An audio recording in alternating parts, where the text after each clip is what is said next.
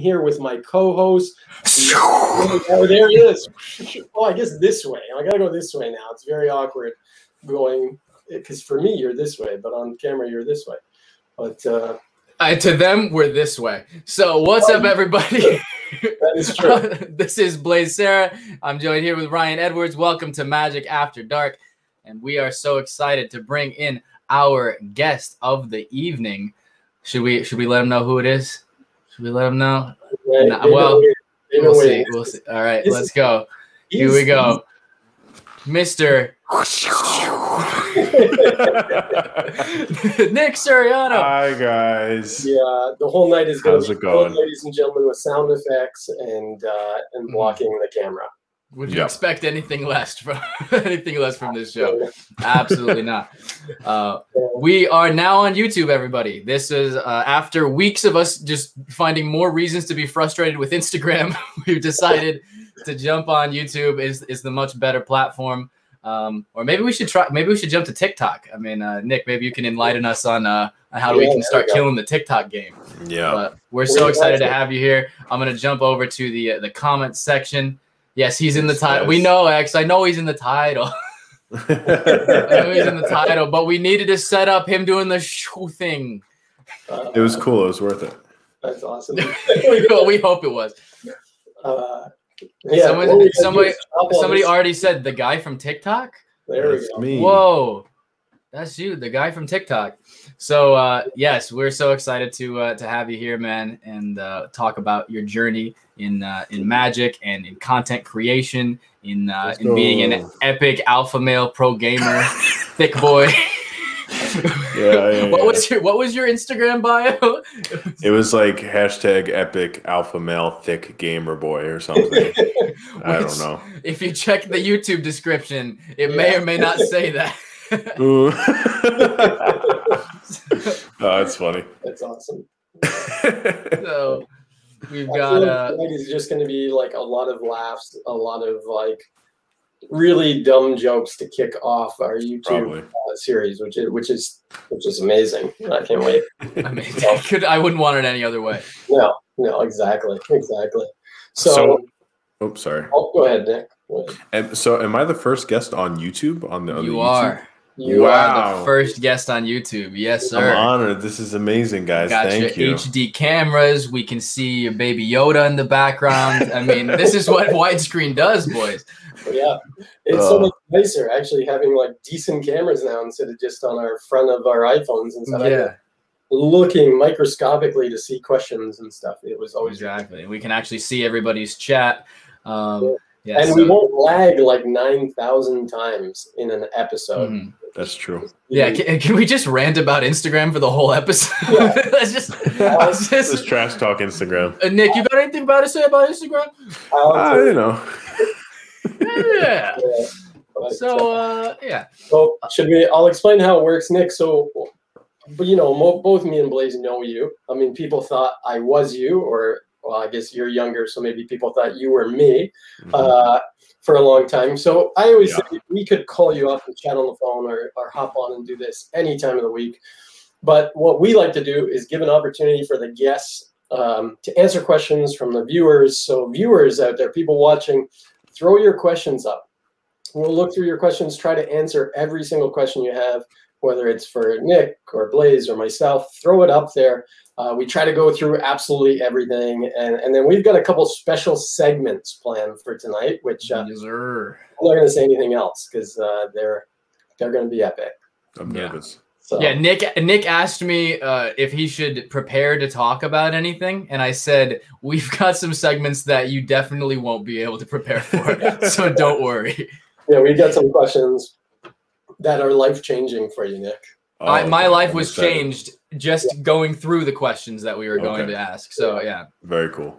Yes, now sir. that's that's a question. Should we ask like one of those questions, like one of the life changing questions? Should we ask one of those like every just once in a while?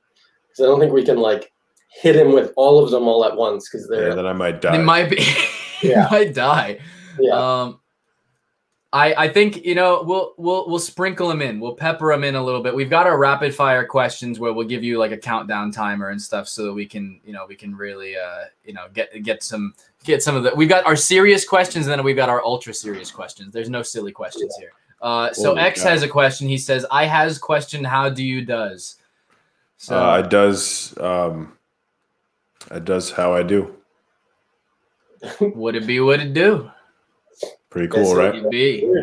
That's it. That's pretty good. wow, that was almost good. Nice. Also good. Uh, Mateo says, "Has a card ever ricochet and hit you in the face?" So for people that don't know, Nic, uh, I feel like the, I, I mean, you do so many different things because you have a lot of different talents, but I feel like the way that you were introduced to a lot of the Magic community was because of your like badassness at throwing cards. So, so uh, if you want to just before we get into has a card ever ricochet and hit you in the face, how'd you get into card throwing? And uh, you know, and are you still into it? Like, you know, what was your journey Yeah. with card throwing? Uh, I mean, I wouldn't say um, I wouldn't say a lot of different talents. I would just say a lot of different distractions. but uh, um, yeah, I mean, like I got into card throwing because I was into Magic, and then Magic led to card throwing, and it was one of those things where, like, uh, I mean, I've I've I've been doing Magic and uh, for for since I was in like the first grade. I remember bringing like the pen through bill to class and like putting it through my earlobe. Like, so like, that was kind of like what I was earlobe, doing. yeah. Pen- yeah, pen through earlobe. So, um, Ryan, but, your uh, uh, your camera. Okay, never mind. We're good. Froze for a sec. but uh, and then that kind of led to so the second grade. I was in um, I was in summer camp, um, and I actually went to magic camp as well. But we don't talk about that. Um, but yeah, I was in uh, I was in summer camp, and then the camp counselor there so happened to throw cards, and he had one of like the thick cards because back then. Um, you, you know the stage performers when they threw cards they would use thicker cards it was like it was like almost like a thickness of like four cards to, was like stuck together um, and that magician uh, a magician camp counselor uh, coincidentally had a pack of those cards and he was like into card throwing. And then he kind of taught me how to throw cards. He gave me one of those. I don't have it anymore because i was young and dumb. And um, and then yeah they kind of just became an obsession. And then i was into like uh, comic books like gambit and uh, and that kind of just like kept growing. And then I eventually started doing it on YouTube and that kind of just took off. It, it was very like unexpected. I kind of just posted a card throwing video of me throwing my car like cards at my friends and hurting them and I was like this is so dumb and Mm. it got a lot of traction and I was like okay, I guess people like it.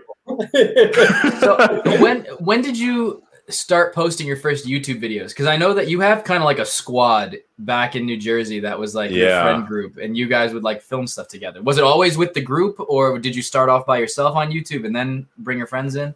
Well, that well that kind of started with because I was very into like filmmaking and like I loved creating like fight scenes and stuff and like and I was shooting on like my iPad when I was young and edited it in like iMovie and then I went into film class and then I was like, oh, maybe I should start a YouTube channel. So I put together the squad and we did a lot of short films before I ever posted the card throwing stuff, and that really didn't get any tra- uh, you know get any traction or anything. And then uh, and then it was my it was my senior year of high school uh, when I posted my first card throwing video, and that kind of like did well. It kind of like popped off, and it was like I was I wasn't getting any views on YouTube. I was getting like if I was lucky, I was reaching hundred views per video. Mm. And then I posted the card throwing video, and it hit like it went to like hundred thousand views, which was like insane. I thought I was Wow. famous. I was like, I'm famous. This is it. This is this is my break. That's crazy. Like, this is it. I'm This is it. retiring. I succeeded. I'm retiring. But uh, yeah, that the you know that's kind of how it happened. And then I was like, okay, I got to start taking this seriously. And that's when I, you know, it might have might have been stupid at the time because like I was a high school wrestler, and like for the longest time, like that's all I did. I was wrestle, wrestle, wrestle, and uh, that's what my parents pushed me to do. And that's like was like my goal to get a college scholarship for wrestling. And Then my senior year of high school, I got a lot of views and was like, screw it, I'm out of wrestling. And I quit wrestling and pursued social media. And it was like at the time, stupidest thing ever.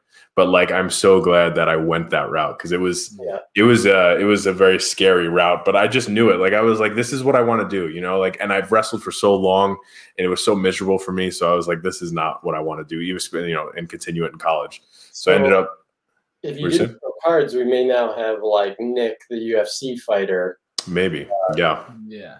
Exactly. I mean, I don't like Or- Conor McGregor, Or but even feel like you Nic, the like, not famous at all legit wrestler. yeah, basically, and that was like, uh, and that was kind of the route that I went with it of because you know the the uh, you know the video did well, and that and that was my only way to get a scholarship. Like I'm a dumb kid, like in school, terrible, worst student ever. Um, uh, and I was not gonna get to college. I was gonna, ha- you know, so that was like my only route. And like I did clubs, you know, like wrestling clubs every single summer. I wrestled every single day of the week.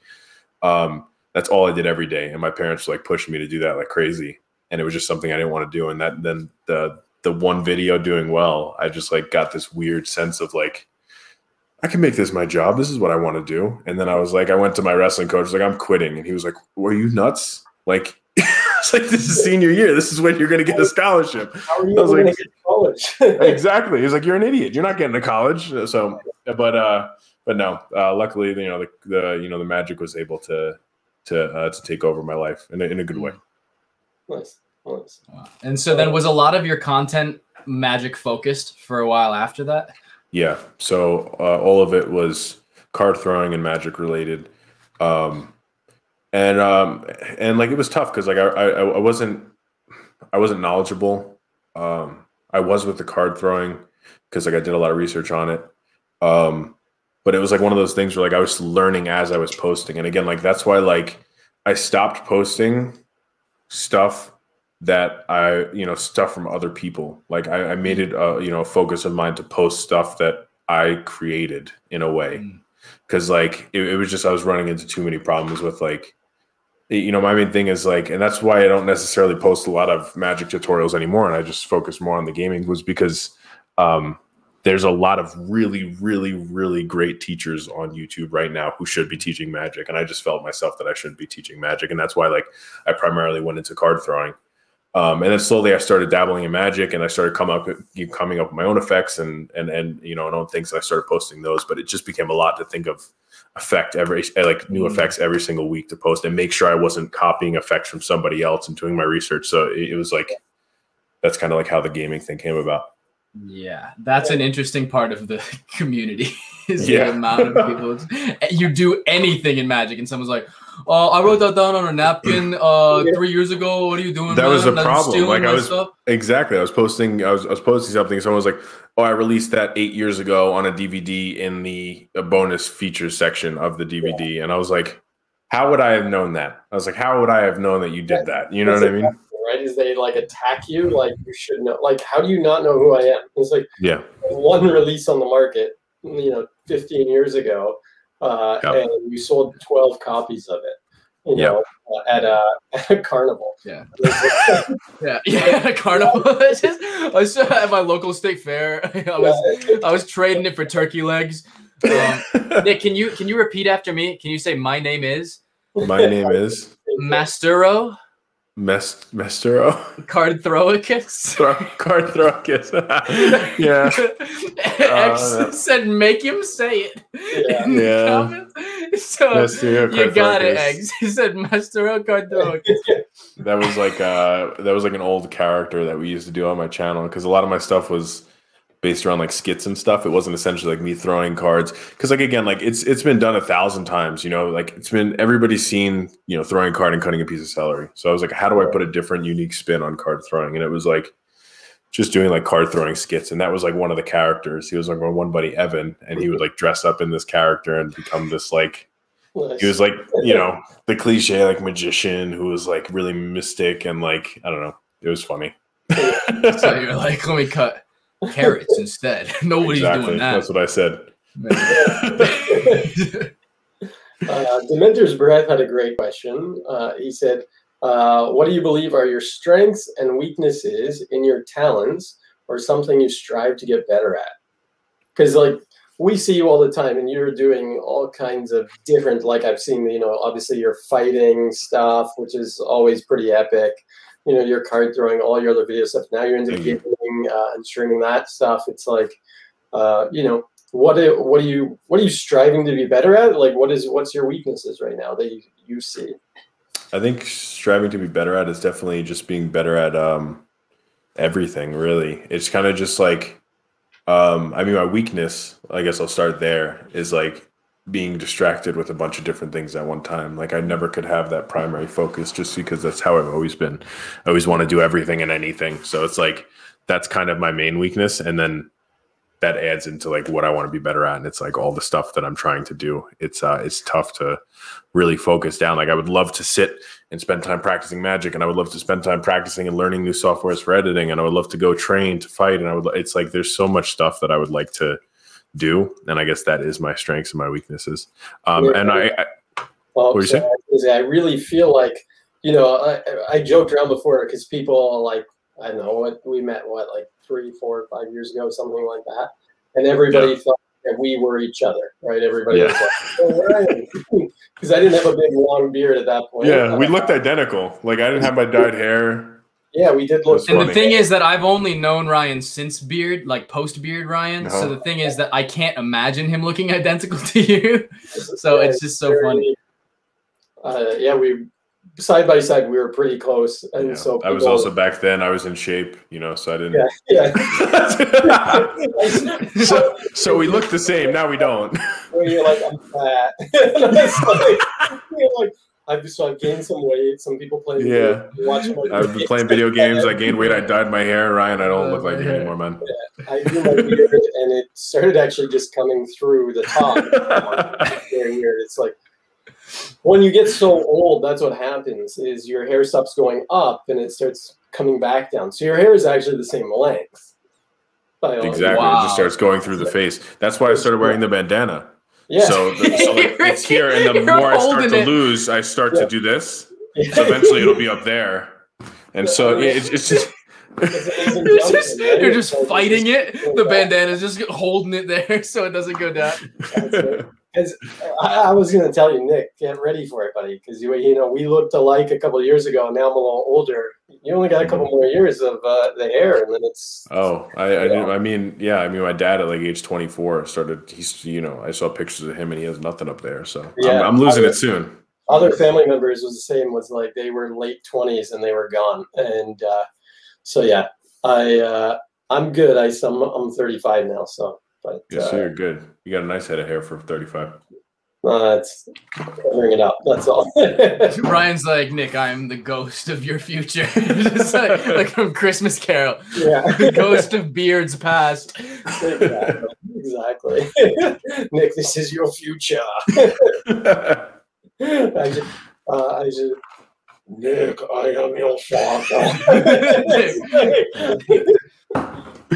the ghost of hairlines past. but, uh, um, someone Sasha's saying uh, something about your. Uh, it, wait, someone said, "Blaise, yeah. are you okay?" It looks like you're. Why are both of us getting dissed back to back? It looks like I'm yeah. sinking. Are you just talking it's about because I'm in a? It's not good. I don't have. Because I'm leaning back in my chair. What? what do you mean? That's I don't it. think I'm sinking. I'm gonna pump my chair. Oh, my chair's already up the sides. It can go, so I'm not gonna get any lower. Yeah, no, I think you sound you sound fine to me, Ryan. Um, and that's all that matters, you know. Uh, love you, bro. Yeah. So, anyways, let's chair back up there. Uh, but uh, but Nic, I find like talking about wanting to do everything. I'm the same way. People have always said to me like, Ryan, if you just focused on you know doing mentalism or magic, like you'd be so much further ahead but I like building things and I like, you know, doing all this other stuff. And mm-hmm. you know, Blaise said to me just what yesterday or two days ago, he's like, How do you have time in your day to do all of this stuff you're doing? You know, um, exactly. So I find like, mm. but for me, like it's it's not exciting if I'm not doing like ten different things. Mm-hmm. And then also, I mean, I think if you do one thing and and you're stuck doing one thing, if like COVID has showed, hopefully shown magicians that like for those guys that just did magic that some of them couldn't get into the virtual scene right? It was like their careers have like plummeted in the last year uh, where i went oh uh, i just started doing more carpentry stuff and you know and exactly. like building mm-hmm. things and and that stuff took off because uh, people were you know wanting stuff now to make their houses better and stuff so you know, for me, it's always been, yeah, like when one avenue closes, it's okay because I've got 12 other ones I'm working on, mm-hmm. right? Exactly. Yeah, to have your hands in as many pots as possible. That's the best Yeah. best route to go. And it's like, you know, I, you know, I'm, I'm I'll make sure that you're the same way, but if we were to stick to one thing and keep doing it over and over again, it's just the way my brain works. I, I yeah, I, it makes me miserable. Like I, I lose the I lose interest in it, and that's kind of like what was happening with Magic. And I loved Magic so much, I loved card throwing so much, but it was like just the constant of only doing that uh, was making me hate it. And Mhm. it's like, and that's something, and like that's kind of why I took a break from posting on YouTube and stuff. Luckily, the gaming thing took off, but that's kind of like the struggle I've been having recently, and like, um, just not being able to create new content for Magic and stuff. It's all been gaming because gaming, the whole gaming thing, like consumed my life, and so it's just finding the time to do that, and on top of like, you know, take care of the house, take care of the dog, take you know, so like there's a lot of responsibility and like trying to. Trying, trying to like manage my time has been a has been a Yeah. hard one. Yeah, I definitely feel the same way of just like having a bunch of different interests and trying to. Yeah, it's, Literally it's every tough. report, every report card was like Ryan has trouble staying on task. you know, it's yeah, yeah, Yeah, there's exactly. cool stuff to do. you know, Mhm. but I'm No, the I same. get Like, that. I've got a couple dogs, and you know, well, Blaise will tell you my pergola now is like the Pergola. the He had, dude. He is, yeah. I remember I was there. I heard it. Oh yeah, yeah. You haven't seen the latest photos. His pergola is significantly nicer than my last apartment. It's- I'm going to show you just because the other day, Ryan was talking about triangulating his pergola, and I was like, I've never heard anyone put those words together in that kind of sentence before. this is way too advanced. So, Nick, uh, yeah, I definitely get what you're talking about. Oh yeah, he's showing his pergola. He's got a projector, dude. Oh my god! I'm mounting the projector from up top, so I get like the fire table and Oh, it's so dope. built a couple like six by six couches and stuff. That's Uh, so cool. so I love that uh, stuff. eventually, Magic After Dark will be broadcast from the pergola. Yeah. Uh, Pergola. that's, uh, that's it. That's so cool, though. That's Yeah, so I told dope. him. I told him soon he's never gonna leave. He's just Yeah. gonna only be in the I pergola all the I time. bought a pizza oven, so I got a pizza oven there. I got the There you go. barbecue there. You never have to I- leave. You know, you just You gotta don't to install a toilet and you'll be good to go. That's it. Oh, I'm, I could be like the dog and just crap in the backyard. Exactly. That's what I do. Done. Done. Um, well, should we hit him up with one of our I, crazy? I, I hard think we questions? I think we should. I just had one quick question on that because yeah. I definitely I definitely feel what you're talking about, Nic, with just like being into a bunch of different things and trying to figure out like what is the what is the priority that I should stick with right now because there's a million different like directions that I that I'd like to go in, but you can't do them all at the same time. Um, do you when you were talking about with like how sticking to one thing ends up getting really boring and really tough because then it just becomes work. Like you're trying to drudge through doing that thing that used to be really exciting. Do Yeah. you find with the gaming content that you're doing now that because you can just like do a different game that it has more of that variety or have you felt that kind of level of burnout with the gaming you know i'm just curious on on that and then i'd like to get into the the, the real questions Um, uh, like the gaming thing. I mean, I mean that's a good question. Uh, the, uh, the gaming thing it definitely helps with ha- like being able to play different games and try different things. Uh, but the gaming thing is like its own very unique situation, like by itself. Um, that thing was it was kind of like not saying it was forced on me, but like the gaming thing was kind of like my only option, kind of. Um, and to like elaborate on that is because when I moved to Vegas, um, I moved to Vegas for the show, um, and I moved I moved to Vegas to work on a show, and um, it ended up getting shut down, obviously because of COVID, um, and that happened two weeks after I signed my lease to live there for you know for the year. And this is the first time I moved out of my house, out of my parents' house. Is I moved across the entire country, so I was you know in Las Vegas, three you know three thousand miles away from my family, and I signed a lease, and then my only source of income shuts down. So I was like, oh, I was like, this sucks. So uh, I kind of like, and I had some saved up, like, like enough to be like, okay, I need to pursue something right now and grind at it as hard as I can to make it my job. Um, and luckily, I was like, I was like, you know, and, and like that's kind of like it helps me. Like if it was like if I wasn't in that position, I don't think I would have gone as far as I did with the gaming thing. Mm.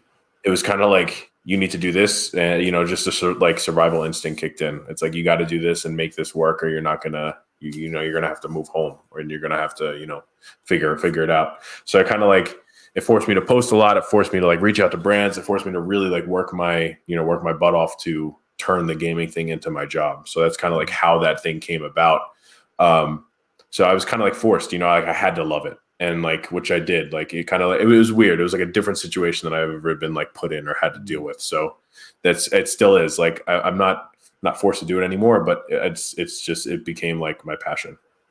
Yeah. Nice, nice.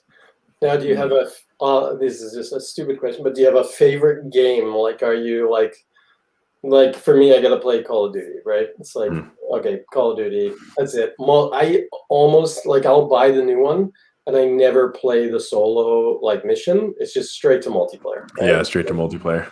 Like, um, do they have a single player? I'd go straight to multiplayer or straight to zombies if it was one of the trailer yeah, games. 100 mm-hmm. percent. That's it, right? And that's all yeah. that game ever sees. Like, I think I played like the new one. I think I might have played the first like story segment, and then that's it. It's like no yeah, I, it, like the the uh, the gaming thing, I'm the same way with gaming that I am with all the hobbies. I am ever like always transferring games, especially now that I got a PC. So there's like all these games that you could download for you know for free, and all these different games you yeah. could try.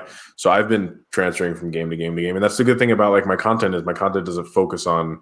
I'm not I'm not gaming. I'm kind of just creating skits based on gaming, and most of my skits are for COD because I you know I, I, I you know I grew up on COD, and um, yeah, like it's weird. Like COD was one of the games where like I kind of it kind of like I got bored of because I, I, was doing that for a job. I was playing COD, and then I kind of like started transferring my content into playing other games. But um, yeah, I, I kind of like I don't necessarily play COD anymore, but I'm playing like a new game every week just because I get mm. distracted easy.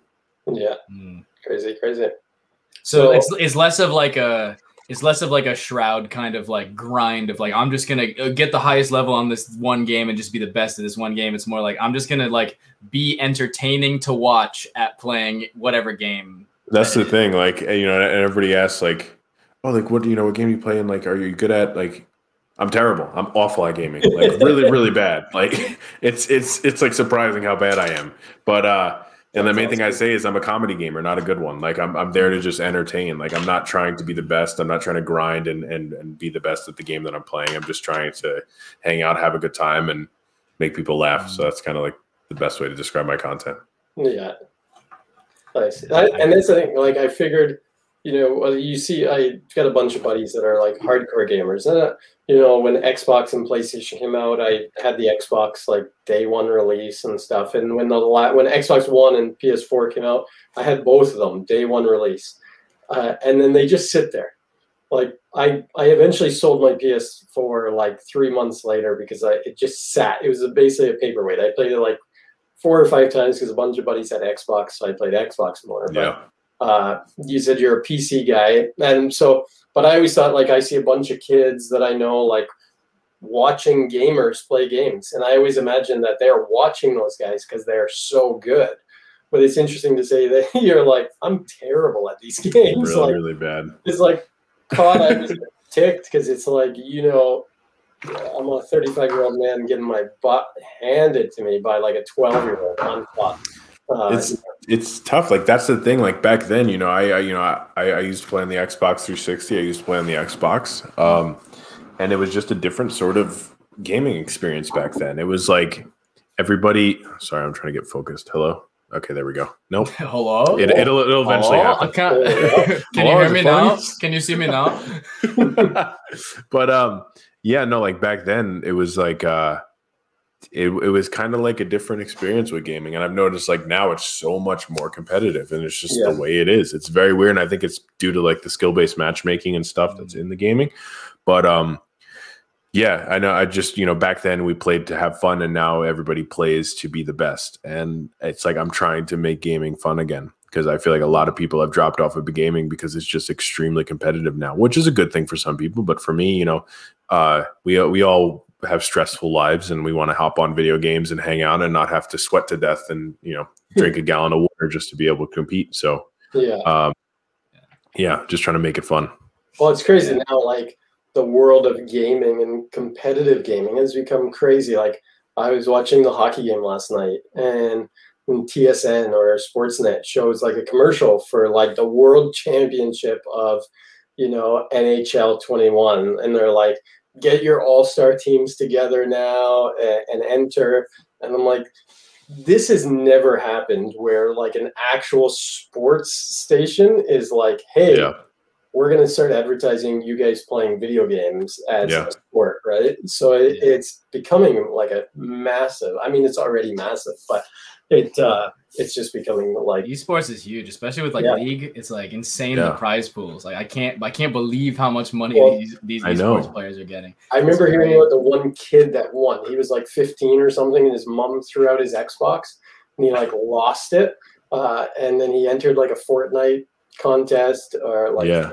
and he won and he won like millions of dollars mm-hmm. and now he owns his house he bought a new so house nuts. and, like, and like you know what does the mom do then right like that kid yeah. just made more than you've probably made in your lifetime uh, playing a video game right so i mean yeah. and, and like i i really didn't have like I was like, oh yeah, no, yeah, I guess it's a sport. I guess it's a sport. And then it really opened my eyes because I joined um, I I joined a content creation team. It's called Full Squad Gaming, and um, and they're a branch off of NRG, and NRG is an esports team, and they have a facility, and you know we went there to create content. But I saw them practicing, and it was like a major eye opener because I didn't realize how much of a sport it actually is. Like these guys were getting there super early in the morning, get, get getting on getting on Overwatch, playing like nonstop. Then they would stand up, go into a separate room. The coach would then they would break down footage from other teams, and they would say, "Okay, this player does this." Player. Then they would go back in practice again. The coach would walk around and yell at them based on what they're doing. They would go and they would watch more film. They would go and they would practice, and then they would scrimmage. It was insane. It was the coolest thing to see because you didn't. I didn't realize it was like that in depth of a sport. Yeah, that's intense. Wow. I mean, yeah. I mean, both of us are used to like you know, working out and, and, you know, hitting the weights and getting in shape. And that's tough work. But yeah. I never have thought like, uh, esports like, oh, this guy like let's break down what this player does and stuff exactly. like actually playing sports. Yeah, Again, it's yeah, like literally like playing football and like the coach like going yeah. through play like a no. playbook. Like exactly. Like again, that's like again, I lived it with wrestling. Like anytime we would go against another schools, we would sit and we would watch film. We would break down. Okay, this guy leads with this leg. This guy shoots. You know, he shoots a, a you know a single on this side. He does this, is and it's like it was the exact same thing, but with like it was just crazy like to see like okay on this map this guy always pushes this side and he's always using this power up and he's it's just it's really wild. It's mm-hmm. nuts to see. Crazy. So i know that you're would you say your main platform nowadays has kind of transitioned over to tiktok is like the mm-hmm. main the main focus but before yeah. that it was youtube and i know that you've done twitch streaming but i, I like I, i'd say that like your main thing is making skits about the gaming rather than just having it be you like playing the game. But yeah, I know exactly. like nowadays, especially with Among Us and Rust and like GTA roleplay and everything, it's like seems like there's kind of this collab meta that's happening online where like it's all about just collabing with people. And I guess that's made it a little bit less competitive you know, in content creation for Twitch is like, oh, you know, it's more about just having a fun time with your friends, whether that's playing Among Us or Rust or whatever do you i know with tiktok you're kind of doing your own thing making the skits but are you involved in that a lot with like the where a lot of your content is about collabing with other people uh yeah I, I mean like recently it's definitely been that especially like just because i started content creation within you know covid um, and it's and it's it's tough to collab with people, especially on my content. It's not like we could join into a game together and play. It's like more of like I would have to be in person to collab. So I haven't essentially done many many collabs, but recently since I was able to like go to LA and go to this content creation castle, you know, for the team that I joined, I was able to meet a couple other content creators, and that's definitely opened up the door to like being able to collab. But I definitely feel like uh, it's definitely less competitive online, especially on TikTok and stuff. I mean, there are you know there are some people you know you get those types of people who are who are just very very strict with it or very competitive and don't want to talk to anybody and just trying to do their own thing, which I get. But um, yeah, it's definitely been like a, a much uh, it's I don't know, it's been better than than it's it's not what you would expect in the gaming because you you know like me, I expected the same thing of like being extremely competitive nobody, you know, everybody's trying to be the best, but there is a lot of people who are just trying to have fun and have a good time. So we have some questions. So, So, should we Uh, get into the serious questions, Ryan? yeah, I, I think so. I think And by that's serious, I mean not the rapid fire ones. The no, serious. yeah, not the rapid yeah, fire. yeah. Okay. So, question one: Would you rather look like a potato or feel like a potato? Well, it depends. What does a potato feel like? I mean, So, yeah, that's that's in the eye of Um, the beholder, sir. that's uh, I guess I would rather look like a potato. Hmm, than to feel Right? like one. I feel like I would, because I, I feel like if you would feel like a potato, I feel like that's like very uh not good. So I feel like if I would look like one, I could still be myself and still do all everything that I love. But do I have arms? I mean, yeah, yeah. Well, you look like one. You look Yeah. yeah, but I guess you you you feel Yeah. like yourself. You know, yeah, I so feel I like guess myself. I guess would you even notice that you looked like a potato if you still felt like yourself? You know. You're So you, a are, you, are you saying I look like a potato now? Is that what you're saying? or overshaped. Nic, I'm sorry to break it to I mean, you. Blaise, but I, I, I know I put on a little quarantine weight. You don't have to, you don't have to bring it out in front of. I'll just say you don't look like Ryan anymore. Okay, that's all I'm gonna say. I'm not gonna say anything else.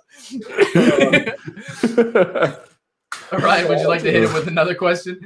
Uh, yeah, all right. Let's. Uh, oh, wait, should I do the life changing question right now? You think that's? oh yeah, dude. Let's let's get into the life changing question. Okay, so Nic, this is a serious question.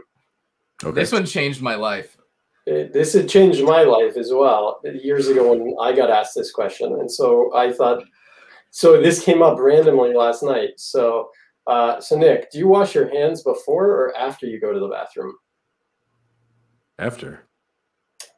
Really? Hmm. Interesting. Yeah. Why? Well, do you want me to change your uh, change your whole thought process right now? Okay. So Have you considered the opposite? Have you ever Yeah. considered going the other No. way? And most people haven't. And every viewer right now watching is going, no, this doesn't even make sense. But hear me out. You probably took a shower in the morning or, you know, before your day started. So your body is clean, right? hmm Yeah. You go throughout the day touching everything that's dirty, Okay. right? Mhm. When you go to the bathroom, you then touch yourself, your clean body, with your dirty hands. Oh, I see what you're getting at here. Yeah, so now you're making your clean body dirty by having nasty hand, potentially nasty hands, especially with COVID. Like you don't know what you touched, right? And so technically, washing your hands after you've only just touched a clean body part. Huh. Xavier said that theory is flawed. Exactly. said that theory is No. flawed. He also asked, he said, that makes zero sense. He It- asked, do you wipe your ass before or after the horror? but, that, but, but that, that makes sense because you're when you take shit, you're you're then becoming dirty. But if you were standing at a urinal, right, essentially you are only touching yourself, which Yeah. technically is clean, but you're touching it with your dirty hands, right? That's true. No, I, I, I just feel like I guess it's like I don't know. I mean, it's it's it's weird. I, I I don't know. I mean, I definitely don't fondle myself when I use the bathroom. So I told Um, you, Ryan, Zoomer minded. Yeah, Zoomer yeah. minded. We d- we've got our phone in one hand. We pull down our pants with the other hand. There's no contact. I actually So, I, I my- actually pull down my pants with telekinesis. So I don't even touch it. I don't even wash my hands. I never wash my hands. My big thing was Mm. maybe just wash before and after. Like Exactly. I, I always just wash my hands after as well. But when I heard the guy say it, I was like, he's like, you touch yourself with dirty hands, and I was like, what? What are you talking about? He's like, well, you go throughout the entire day touching things, and then you go to the bathroom, your hands are dirty, right? I want to know what that guy does though. Did he say that Yeah. he washes his hands before he uses the bathroom? Because then you Uh, don't want to shake yeah. his hand because then he's got pee pee hands. He does have PP hands. I, I agree. You should definitely wash them after as well. You don't like X says X says by the end of the day you are quote a cesspool of disgust and it doesn't matter. That's why I said Oh, wash man. before and after. But I think it's life changing to go like, uh, you know, we've never thought about that, right? Like, because Yeah, that is kind of strange. When like you go to the bathroom, and you wash your hands. Yeah. Like I remember working on a TV show, and there was um, we are at a camp, and so there was like a, a washroom, like a guy's washroom, and it had a ton of stalls and stuff. And one of the actors like went to the bathroom and then didn't wash his hands. And so me and the other guy that was the actor, I was the art director on the show, and we were like, you know, he didn't he didn't wash his hands. like like we we're at lunch and we're like, uh, you know, that that bowl of chips is just yours, bro. like, but he but he had the same kind of comeback. He's like, well, I washed myself this morning, so I'm clean. I, but you know, I don't agree with that either. So, yeah, exactly. Uh, I don't know. But, but I just, we just thought it was a kind of a, a weird question that you would never think about because uh, we touch yeah. things all the time. We'd never wash our hands before we go. Yeah, I mean, yeah. you, you just got to put like hand sanitizer on your belt or something, so like you can like squeeze it out in your hand. yeah. and just give it like thirty seconds in between. Yeah, exactly. Yeah, because X X said because you know you're sweating and everything's in a dark, damp space breeding bacteria. I just assume that X hasn't you know gotten the, the highest technology you know yet. You, know, like you don't you don't have a greenhouse in your underwear. I thought so, we all I mean, honestly. Okay, wait. Just think about it. When you walk into the bathroom, there's never an exit, so it's never if, if you think about it, you don't walk in, then it's bathroom, sink, and then exit. It's you have to walk yeah. past the sink and then past the sink again on the way out. So maybe we're That's supposed it. to be washing our hands before it's, we use the bathroom. Wow. Yeah. Just, and I, and I, I, I, will say that I think that the guy that told you that, Ryan, he said that he washes before and after. Yeah, yeah, yeah. Yeah. So yeah. like, you know, he's just he's just, you know, a crazy person.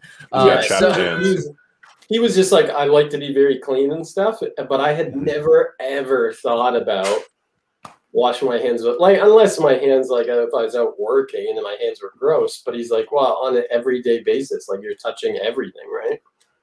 I guess, so. but I mean the same the same thing could be said about his phone screen. This is his phone screen's probably more dirty than the toilet. You know, isn't that like yeah. a fact or something? Isn't your phone screen like more dirty than like a toilet? Oh yeah, Got more bacteria on it. Cedric Lancy says you don't wash your hands before you use the restroom. Why? it's like, well, I think that's what we're saying. That's what we're saying. Cedric, that's what we're saying. You gotta do before and after. And Mike, yes, you are. Uh, I think you're correct. Wash hands after poops, definitely. definitely, he's onto yeah. something there. I think yeah, you're a, onto something. That's a, that's a, given. That is a given. Like you gotta. You Sasha, gotta Sasha said, uh, "A good point, Nic. COVID bathrooms. There should be two doors." Also, I'll say, uh, Ryan, I know that washroom is just the Canadian way of saying bathroom, but I just imagine a bunch of dudes with like loofahs wa- washing each other. washing each other. it's like, well, can you get my back, bro? and he goes, yeah, eh? Uh, I said, I don't see this. I see my hands before I on the. Oh man. All right. Uh, Only um, Only X. All right. So that went downhill real fast. We shouldn't have asked while X is still on. That's it. That is he's, gonna, he's gonna just call us up afterwards, like you guys are spreading some serious false information. You're gonna endanger people's health. What are you doing, dude? We just start the next virus. Yeah. This is COVID 2.0. It started uh, by Magic After Dark. Uh, all came from washing your hands. All right. So if anybody has any questions for Nic, please put them in uh, in the YouTube chat, and we will make sure to to see him to check him out and ask uh, anything that you want to know. Oh, we never got to the question though. Um, the, the one person asked when it came to the card throwing about you know if those uh if those thicker cards that you're talking about hurt you know when you when you get hit with them. And also have you ever ricocheted a card and hit yourself in the face? All the time. I do that all the time. I always hit myself in the face. Um, mostly i hit more my friends in the face than myself. But um, yeah the, the, you know the thicker cards it's like throwing a credit card. So it's like it's it's definitely going to hurt more than throwing a normal playing card. But i feel like you're going to get cut more with a normal playing card than if you were to throw a thicker card. Yeah sharper edges Here's a question that came in as well. It said, Nic, for those of us that don't follow you yet, uh, can you give us a sales pitch for your channel? well, I got two uh, channels. Oh, and then it says Sham Wow style. Sham. Wow. Oh man, I don't You're gonna love my that. nuts. Have you seen that? Have you No, seen I that haven't. commercial? I You haven't. haven't seen That it? just made it ten times more funnier. oh, yeah. Because it's the best part, no, the best part is the sticky when he goes, "Is your pussy shedding?" Um, and then the cat walks by. Like it's such a cute commercial. no, it's it's the no. so the Hilarious. Sham Wow guy also did the commercial for the slap chop. The slap chop. And so he's it's this thing where you just slap stuff and it chops Yeah. it up. Chops So- it he just he just throws in some walnuts and he's like, "You're gonna love my nuts." So that guy was actually like arrested uh, yeah. for oh my god. Beating up a, a woman, uh, a woman of the night, uh, and was like put in jail. And so one of his other commercials that he's on now, it has like a scene of him in j- like in jail, like he just totally makes fun of the whole situation. He he um uh, you know if we're thinking of the same guy um he kind of like he could be like Johnny Knoxville's brother. I feel like they look Yeah, the yeah. same, right? Oh yeah, they could. Yeah. 100%.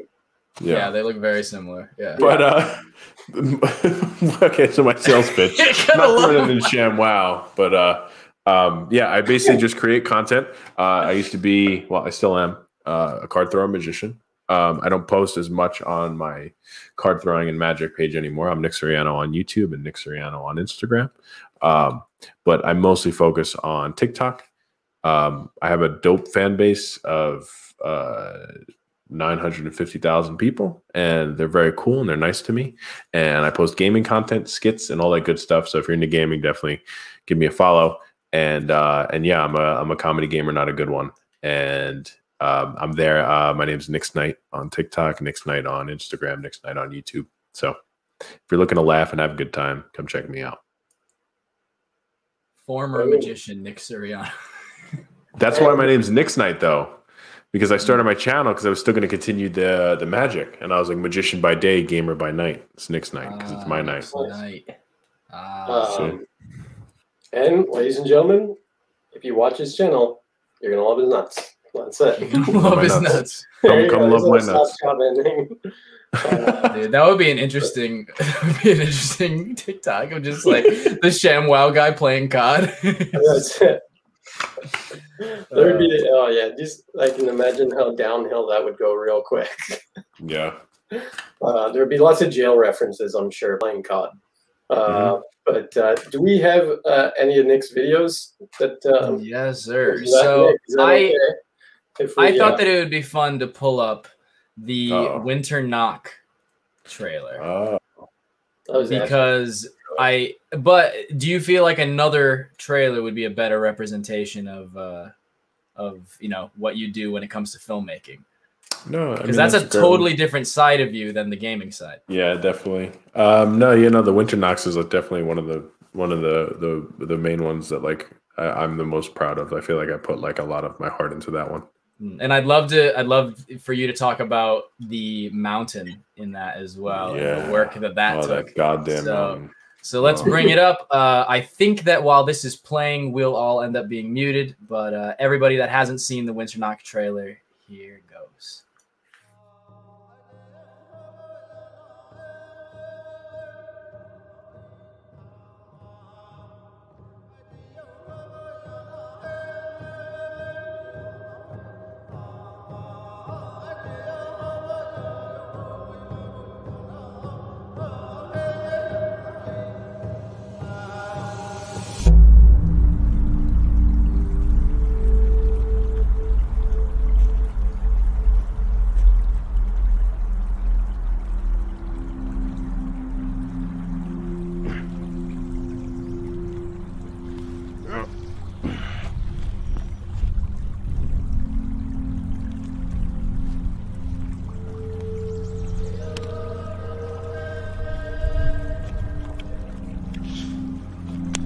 we settled on two.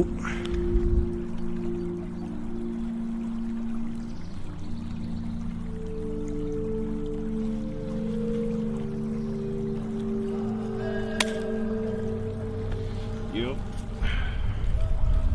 I don't think you realize how hard it is to get these pelts from my camp to here, especially with all the run-ins with the natives. Wouldn't hurt to show a little bit more appreciation. Probably gonna head out of here, go down the river a bit, set up camp, maybe get out of this cold a little bit. I suggest you do the same. Now, you don't talk too much.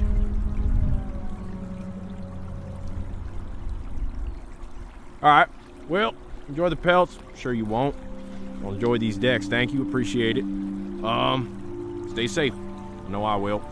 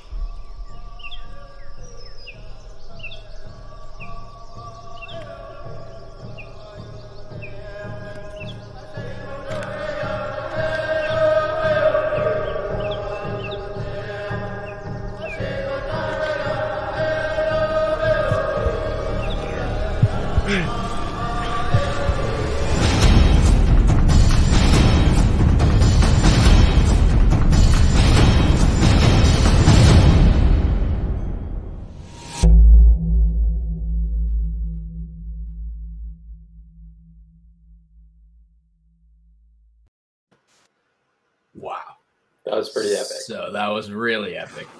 That was so dope. Thanks, guys. Uh, So yeah. And uh you forget that it was to advertise a deck of cards. yeah, yeah. It's like, Yeah. so what uh, Netflix show is this like series? it's like, oh, hang on at the end, he pulls out the deck of cards. Like, oh yeah, it's deck of cards. yeah. Um, that's always great. Oh. That was Yeah, so cool, man. Uh, those those trailers were like my excuse to finally uh it was one of those things where like I like being a filmmaker and and that's it's what I love to do is just it was my my you know my excuse to finally get a budget and finally get paid to just make something cool. And like that's why like um you know that's why Alex like me and Alex vibe together so much is because like he also gave me the creative freedom and he gave me the budget that I needed. And it was kind of like you know and he saw it and he let me know like he let me run with the ideas and he let me run with and and you know and it was a very good collaborative effort. And we went back and forth and we talked to each other and we came up with these cool stories. And then it went you know he was kind of like just you know just do what you do and and you know make it cool. And uh and it definitely was a cool it was it was cool to finally be able to because you know working on projects with other people it's kind of just like you know they want all hands on and they really need to control everything. And it's kind of like alex trusted my vision and was like Mm. okay let's you know let's make something dope together. And and it it's just it was it was cool. It was it was a fun it was it like allowed me to like pay people to make something you know pay my actors come in and really make something really cool. And it's like what i've always wanted to do. Mm. and uh and yeah those those those trailers are always so much fun to make. They really are a blast. It's like a week long of filming. And just getting everybody together and uh and yeah that the, that winter knock one is probably one of the hardest ones just because location wise like alex really wanted it to really wanted it to be in snow because obviously it's the winter knocks so Yeah. he was like he really wanted it to be snowy and we drove upstate and we you know and we got you know we got a hotel we stayed upstate and we were we were driving around trying to find snow and unfortunately the weather just was not putting up and We weren't getting any snow, and the snow was melting because we drove upstate. We're like, oh, we'll just go upstate and keep driving until we find snow. There was no snow, and it melted, and we couldn't find places to film. We had to drive back. It was it was miserable, and we had to make the costumes, and it was cold. And luckily, there's just one spot that I've always used to film in when I was little, and it was that creek. And it was like right by my house. It's in the woods. And I was like, oh, I was like, you know, screw it. I'm going to CGI a mountain in the background. I was like, we'll just do that.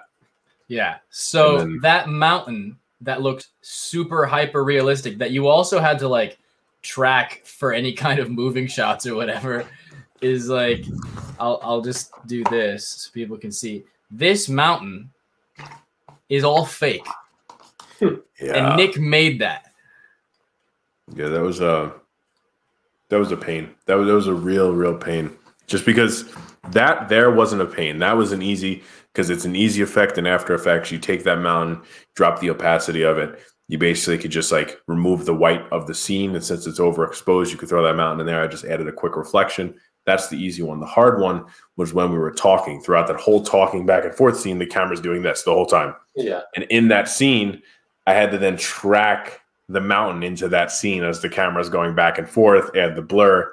And it's just there's no tracking points because obviously when you're tracking in you know an editing software, you need tracking points to be able to track the mountain and as the scene's moving. Like that. Yeah. So That yeah, right so there. I had to just constantly manually go in frame by frame and line it up and just make sure it looked good. And and that was that was the hardest part of the whole trailer is getting that mountain and to look good. Oh my god, that was such and then adding the reflection too. Because then I was like, okay, the mountain's done. And then I was like, oh, there's no reflection of the mountain. So oh my god. Uh, I hate thinking about it. Because there because there was no snow. So the only thing that really made it winter was you CGIing that that snowy mountain in. Exactly. So if Then we didn't start have that, it was you know that that was the only downside is like because I was at a point where I was like just scrap the mountain, but then it was like without the mountain, it's not the you know the the, the mountain's on the deck of cards. Like we need to have that in the trailer. Yeah. So it was such pain. But this was th- th- this was one of my most favorite things to make uh knock wise just because the costuming was fun we spent weeks on the costuming and obviously a big inspiration You you made the, Revan. costume. Yeah. Right. Yeah. Yeah, Yeah. so I, I I worked and made all the costumes and everything, and that's like another one of my passions is prop making and you know filmmaking, anything with movies. So uh, this was kind of like allowed me to like have my creative freedom, and um, yeah, and then oh, uh, also like I was watching and I forgot. Uh, first of all, the whole fighting sequence was miserable to make because it was just like me and my buddy Max. So Max was the other actor in it. Um, super cool. He's never acted before or anything but uh, he was the only one with like a long mustache and like i grew out my mustache for that and like because it was like you know as a revenant everybody needs to look grungy and max was the only one with the long mustache so i was like hey you want to be in this film he's like yeah let's do it and then i ended up punching him in the face so that shot that you see in the trailer of me punching max i punched him in the face and gave him a two two bloody noses Nice. so and like I've never done that before because like normally we're good on set, but just like it was really like I, it was things going on, and I I freaking wailed him right right in the face. Straight murking people.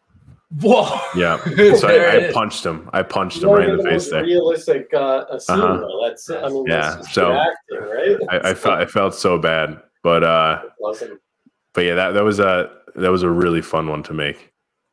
Man, So here's a super question for you because I feel like, again, I feel like we're kind of the same way. Uh, I speak at a lot of places, and sometimes people will put you in a box and be like, okay, uh, they need a full manuscript of exactly what I'm going to say.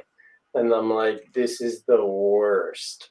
Right. And I feel like with filmmaking, it's the same. Or like even when I was art directing for some TV shows and stuff, it's like, okay, we want it to look exactly like this. Here is the photo, here's everything. Instead of going, here's the idea, run with it, right? Do you find it a lot harder when someone kind of puts you in a box, or is it kind of like, oh, okay, all I have to do is this, you know, instead of letting your imagination go wild and, and creating whatever you want to create? Um, I think there's definitely a spot for each of those things. Um, just because when you're put in a box, it feels like a job. When you're not put in a box, it feels like a passion. Yeah. So, um, uh, you know, with those trailers, it's nice being able to be like, you know, when, when Alex is like, here's the idea, this is the way we want to go with it. Then we talk back and forth. And then he kind of, you know, trusts me to, you know, you know, put something out. And um, it definitely, you know, it, it, it, it, it just helps him. It helps me be, you know, more passionate about the project. It helps me run with it more. Yeah. Um, uh, yeah, I mean that's the thing. It's just like, and like that's a that's that's a lot of the reason why a lot of us, you know, uh, you know, a lot of people create content on YouTube, create content on TikTok, is because my main passion was to become a director. You know, direct some sort of movie or something. And the more I was on set, and the more that I was working on projects on on a set, it was the more I realized I didn't. I I, I hated it. Like it was. So when it was like a, it was like one of those passions that I was. It it it broke me inside to to be like, oh my god, I actually hate this. You know what I mean? and I was like, what am I doing with my life? Because then I went on set and you and there's a thousand people you have to go through. You have to go through each of these people to have this idea approved, and then you have to do it this certain way and plan it out. And this person's telling you what to do. This person's telling you what. So it's nice to be able to have those, you know, these projects and and have my own content where I could be the director, I'm the writer, I'm the editor, I'm the you know the filmer, I'm the cinematographer. It's Yeah. um, it's nice to have all those roles. I remember the same feeling the first time I was working on a set, and I asked someone. I was building everything for the for the show, and then uh, because it was up in this like woods cabin thing, I was the only one that knew the area because I had been up there for a couple weeks building everything. And so they said, "Would you be the site manager for the whole show?" And I was like, "Yeah, okay, just keep working. It's good." Um, and I would be like, "Hey, man, can you do this for me? Like, can you grab something for me or whatever?" And they're like, "No, I'm unionized uh, or whatever. I my job is only to drive the talent from here to here." And I'm like, "Yeah, but there's like garbage on the floor. Can you just like pick it up?" Yeah, No, we have someone else to do that. And I'm like, Yeah. wow, like I hated it. I was Mhm. like, well, you people are, and and for me, I'm almost like attacking the person. I'm like, you're such a lazy person. Yeah. Like, why do you suck? like, Why do you suck? Garbage. Like, Yeah. you Yeah, know, it's like- them, dude, I, I get it.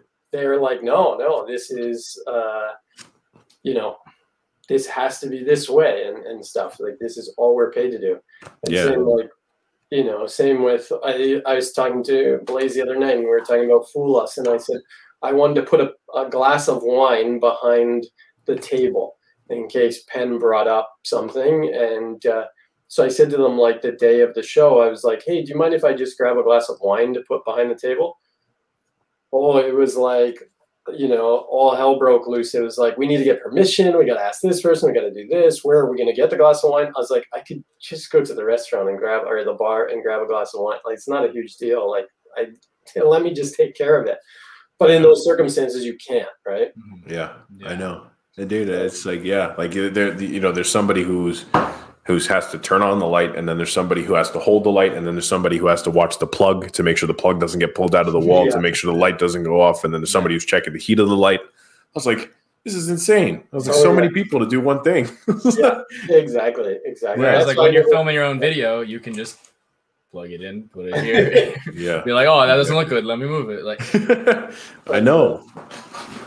That's the tough Yeah. thing too. Like in the states, I think I feel like the unionized stuff happens more on shows in the states. Like over here, we do some shows. Like I worked on one show where they were like, "We don't want any unionized workers," um, and and that was amazing. no immunized workers, Yeah, no no, immunized. vaccines in these streets. um, but uh, but like in the states, I got hired to be um, a consultant on a show, and I was supposed to build the illusions for the show. And so they brought me down. I designed all the illusions, and um, you know, then all of a sudden, the first week, they're like, "Well, you're not unionized, so you're not allowed in the shop." Like, well, how am I supposed to build an illusion? Like, this is what I'm getting paid for. Uh, if I can't even get in the shop, and they're like, well, you're gonna have to buy your own tools uh, and stuff. And I was like, what? Like, I'm not going So spending ridiculous. thousands of dollars So- at like Home Depot to like leave it all Yeah. in there and stuff. It is nuts. So, So so dumb. it took about three weeks of the show of the people that were supposed to be building the stuff just doing a horrendously bad job and it like failing every time before they were like, okay, you know how to build it, just build it. Uh, Yep. So it was like you can come in after hours, and like I was the only one that was non-unionized that ended up getting like free reign of the whole studio and stuff because Yeah, that's great. it was, uh, yeah, it's It works out. Yeah, I get it. Yeah. yeah, it's stupid. so Um, that's why social media is great because you're just in Yeah. control. yeah. That's Yeah, you're in control of everything. yeah. Uh, I like Butter Suckin says that uh, he thought I was from Southern Ontario. And then after you said it, they were like, "Freaking knew he was Canadian." Yeah, I uh, I am from Southern Ontario, from uh, like an hour outside Toronto. And Oh, wow. Picked up the accent real quick. Yeah. It's frickin' Canadians. Frick. Holy Hey. Electra. uh, he says, hey, He said that he's in Brampton. Oh, Brampton. Okay, nice, nice. Uh, I used to do a show in Vaughan every single four shows a week out there, so uh, close to close to Brampton. Canada. Well, should we uh, should we run Nic through the uh, the twenty questions? Yeah, Uh, well, yeah. I mean, first I want to ask him what his favorite genre of lasagna is. Oh Uh, yeah, that's a good. We, What's your favorite gotta- genre of lasagna, Nic? We got to make a slide for this one. We do need to make a slide for this one. I listen. I'm not even going to try and attempt that. The question. What's my favorite genre of, las- of lasagna? Yeah, That's a sweet- I lasagna. can't, even. I can't even say lasagna. Like lasagna genre? lasagna. like lasagna genre? That's a tough thing to say. Man, this is a serious question, dude. We have it in Yeah. our serious cues list. This Oh, is sure. a weekly question that every. This is a question we ask every single guest. Oh So- man, um, lasagna. Uh, lasagna. Lasagna. Lasagna, I can't even now, say it. now, as a follow-up question, if you bake a lasagna and you stack a second one on top of it, how many lasagnas do you have now? One or two? Oh my god, probably one. One. One big Lasagna. lasagna. Definitely You one big, like one big is make a lasagna. I like your style. I like your style. here. Or I've got a white a blackboard here, like a, a black glass whiteboard thing here. Mhm. Dude, we've just got a bunch of equations on it, and it just all leads back to lasagna. I do, No, it's yeah. uh, it's a it's it's a chalkboard, and then at the end of the at the end of every podcast, you turn it around and has all the answers that the member the the person said. It's like a reveal. Oh, we should go back through the previous episodes, and then we just Yeah. give every every guest answer. Yeah. Now, yeah, that's no, that's a good answer. I think one one lasagna is good. Yeah. Um, now, yeah, let's get into the the twenty questions. All right, so we'll have we'll have this be uh be timed. So let me pull up a uh, a Oh boy. So it's gonna be rapid fire, Nic. Uh, first Oh, no. thing that comes to your mind, uh, as fast as you can. So we're gonna give. they're all easy Should we give two minutes total for Yeah, yeah. I think two so. minutes? All right. Two minutes. Uh, two zero zero. Okay, two minutes, and let's uh let's do this. I'll, do, I'll start See. the first one, and then uh, you follow behind. Okay, yeah, because we have the same list, so we can. Yeah. All right. How ready? many questions are there? Let me switch It's, over uh, to. it's it's twenty questions. We're gonna see how many questions you can get through. Oh Alright. Let me boy. get intense face on you, All Nic. Here, here we go. All Are you ready? I'm ready. Okay. And Oh man, go. Favorite color? blue. Biggest pet peeve. Uh, it, licking fingers after eating. Uh, where did you grow up? Uh, New Jersey. What always makes you laugh? Uh, funny gaming videos. Secret talent. Um, card throwing. I guess it's not a secret. It's a Uh, I can play guitar a little bit. Uh, what's the first time you ever saw a magic trick? Uh, my grandpa. If you could have a superpower, what would it be? Uh, to shoot spidey webs. Uh, what's a dream setting for one of your videos? Uh, Jamaica. Most cherished moment or memory? Most cherished Most memory. cherished memory. Uh, probably the content creation houses that we do, the magicians. Hmm. What's your favorite food? Uh, burgers. Favorite movie? No country for old men. Favorite pizza topping? Uh, sausage. Ooh. No pineapple? No pineapple. Favorite magician? Oh my god, never been asked this. Uh, Thurston. Really? Okay. If you if you won a lottery, what's the first thing you'd buy? Uh, a house for my parents. Nice. Uh, what's your most highly recommended magic product or book? Uh, I've been using. Wow, uh, I've been using Toxic Plus a lot recently, Hmm. so that's kind of super dope. I recommend that. What's your favorite TV show? Oh my god, Big Trick Energy, of course. uh, guilty pleasure. Uh, damn, I don't know. This is a hard broke one. him. I yeah, you Yeah. broke me at that one. like two seconds left. All right, you made it through. Nice. All right, you made it through You're 16 questions. You're on Damn. question 17. 16 Yeah. questions. And considering you're the first person on YouTube, you have the high score. Yeah. Congratulations. Oh, Yeah, dude. I would like to thank my parents. yeah, exactly. Can you give us a speech on this? That No, buying your parents a house was a very it was a very nice. Uh, was a very nice uh, gesture. Yeah, Yeah, thanks, especially for the first thing off the top of your head. That that means it's legit. Yeah. That's the that's the goal. That's the There's goal no time to lie when you're when you're going to red face. yeah, I don't know. That's like that's like the goal of mine is to eventually be able to give back to my parents because they kind of were the ones that were able to. I don't know. They just were the ones that, you know, a lot of parents can make it difficult for somebody trying to get into social media and stuff, but they were luckily very supportive of the whole situation. So That's awesome. Yeah, I guess that's uh, like, you know, I, I've said before, like my dad was always like, you got to get into trades, you know, that's where money is and stuff like that. Did you, Mhm. ha- I mean, obviously you've said that your parents were supportive, but were they ever like that where it was like, oh yeah. uh, Nic, come on. Yeah, man, again, uh, so- so like i said like my parents dumped so much money into into making me you know the wrestler of being you know being a wrestler going to college getting you know getting a scholarship and because they you know they knew i was dumb. I was terrible at school. I always slacked off. I couldn't pay attention. And uh and well they did that that was like mostly because of my dyslexia. We didn't know i had dyslexia until like senior year of high school and that's like what made it difficult to like be able to like read and, and do anything in school. But um so it was like you know college scholarship and like my dad would drive me like an hour like every single week multiple times a week to like a wrestling club they dropped all this money on me to get in the best wrestling schools and like uh compete and then senior year is when i'm supposed to get a scholarship you know i was, I, was, I finally made it to captain of the team like one of the captains of the team and then i went to them and i was like i'm quitting wrestling i'm going to make youtube videos and they were and like my dad is like, like, you know Dope, Nic. Sounds I- good. Exactly. So you know, like, and like again, like my dad owned an oil, you know, an oil change shop in New York, and like that's where I worked for him a lot of the time. I went, and I changed oil. Like, you know, he built he built my house. Like he, he he's he's he's he's very good. Like he's you know he's very crafty and he works with his hands, and he wants me to get a job, and like you know what I mean. So Yeah. it's not a traditional job, you know. It's it's the furthest thing from it. So at that time, I was like disowned. It was like the most, the worst, the worst time in my life. I think is the best way to put it. Like, and like again, like my mom is a phenomenal person. Love my mom to death. She's she's the best thing in the world. That's and it's um, it, it's just at the time. So, um, it was like this whole situation happened. I was like disowned basically they were like, "You want to create videos? Then fine. You're gonna, you know, you're gonna be by yourself. You're gonna, you're gonna figure it out. If you want to do this, and you're gonna ruin, you're gonna ruin your future." I was like, "Okay."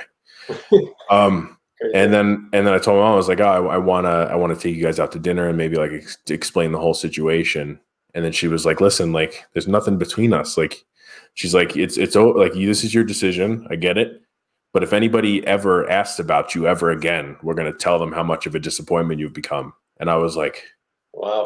I was like, oh, Yeah, So that, intense. that like was like the hardest hitting thing that I've ever heard, eh, like Yeah. ever. And then that kind of made me like, okay, like you need to make this work because like there's no other option. Like you need to make this work. And then that's like, it worked out. I started getting paychecks. I, I showed them. I started like, hey, I'm making money from this. I started.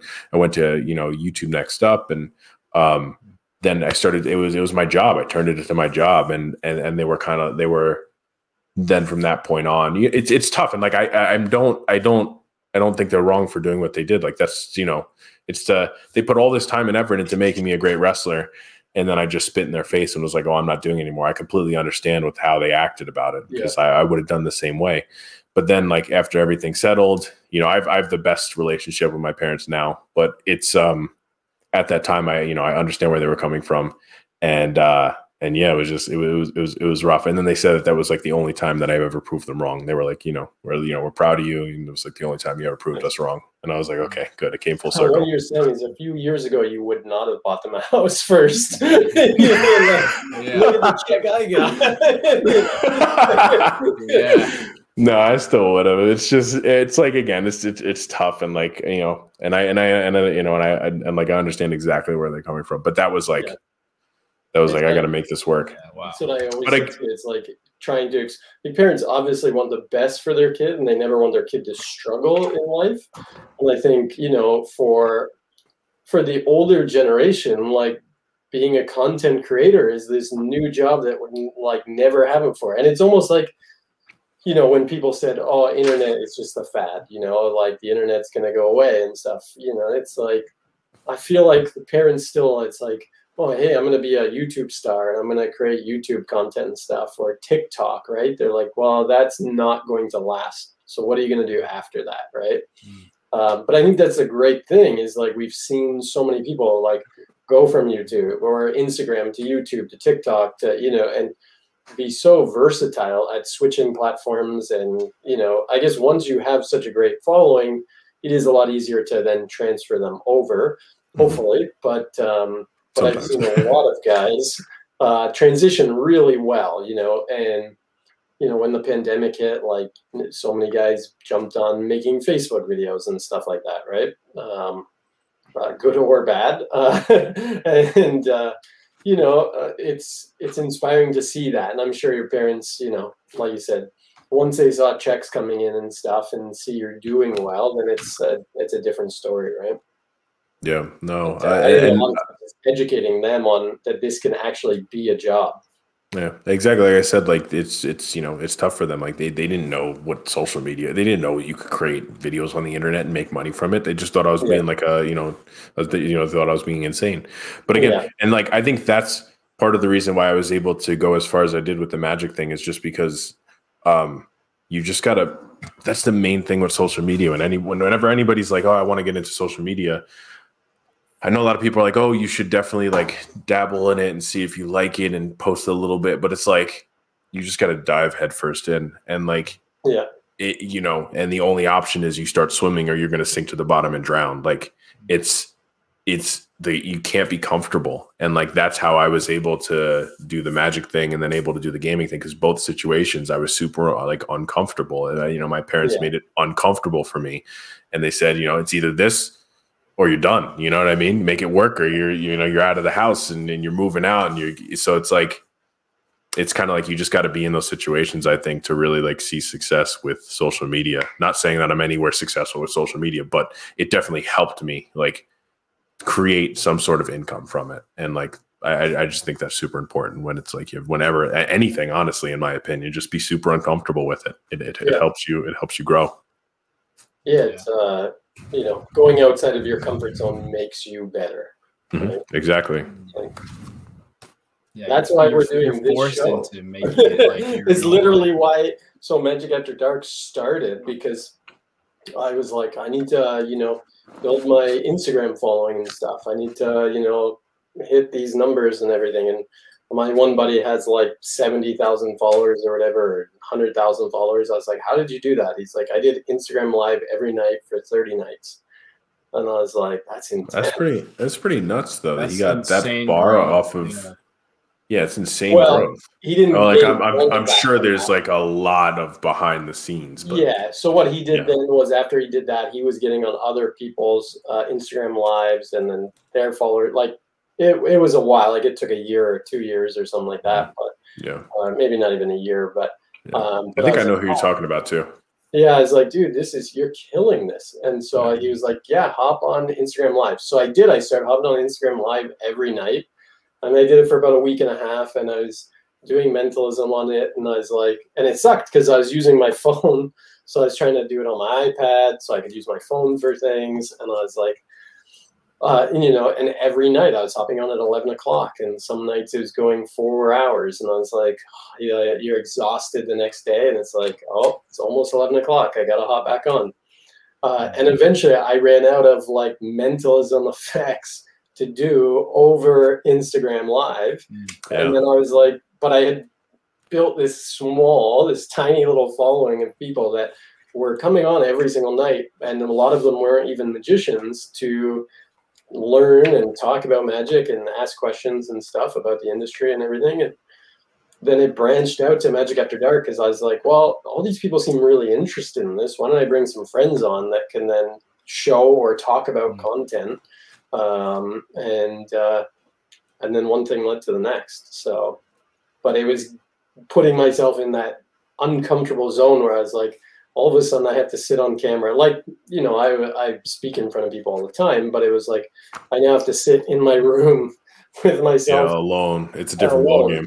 and just talk to to a bunch of people that are just texting things to me like Yeah. you know and not seeing them it was a it was a very weird thing at first uh, and i Yeah. didn't know like my buddy i remember he said like get ready for the first time like the first week you're gonna have like six people watching you uh, and, you know and that's the crappy realization where it's like yeah i'm on here i'm doing my thing and no one is watching me Yep. so Oh, I know. but uh, but I love that. Yeah, put yourself in that uncomfortable zone because if you're comfortable, then you're not you're not You're not moving growing. forward. You know, you're Yeah. not you're not doing anything. Yeah, I mean, well, I, I know a sim- uh, I feel a similar thing with uh with just like deciding to do magic as a job, you know, and like the amount of people that when I said like, oh, I'm gonna move out to LA and do magic, and they were like, all right, you should get a job as a waiter. Just like, yeah, but if I, it, my my thought process was like, if you, if you, uh, if you have a safety net and you get too close to the safety net, you're gonna get like wrapped up in it. Like you're Yeah. gonna get wrapped up in the net and trapped. No, like you true. see, you you see people that move out to LA and say, "I'm gonna be an actor," and then they end or actress or whatever. They end up becoming a waiter or waitress, and then a decade later, they're still a waitress and haven't been able to pursue that career because Plan B has become the, the only plan. You know, it's No, exactly. because like you get stuck in that safety. But if you just go out there and you're like, no, I'm gonna, I'm going to do this thing. I'm going to pursue this, like whatever the whatever the path is, and you make it your only option, then you will find a way to make that option work. Yeah.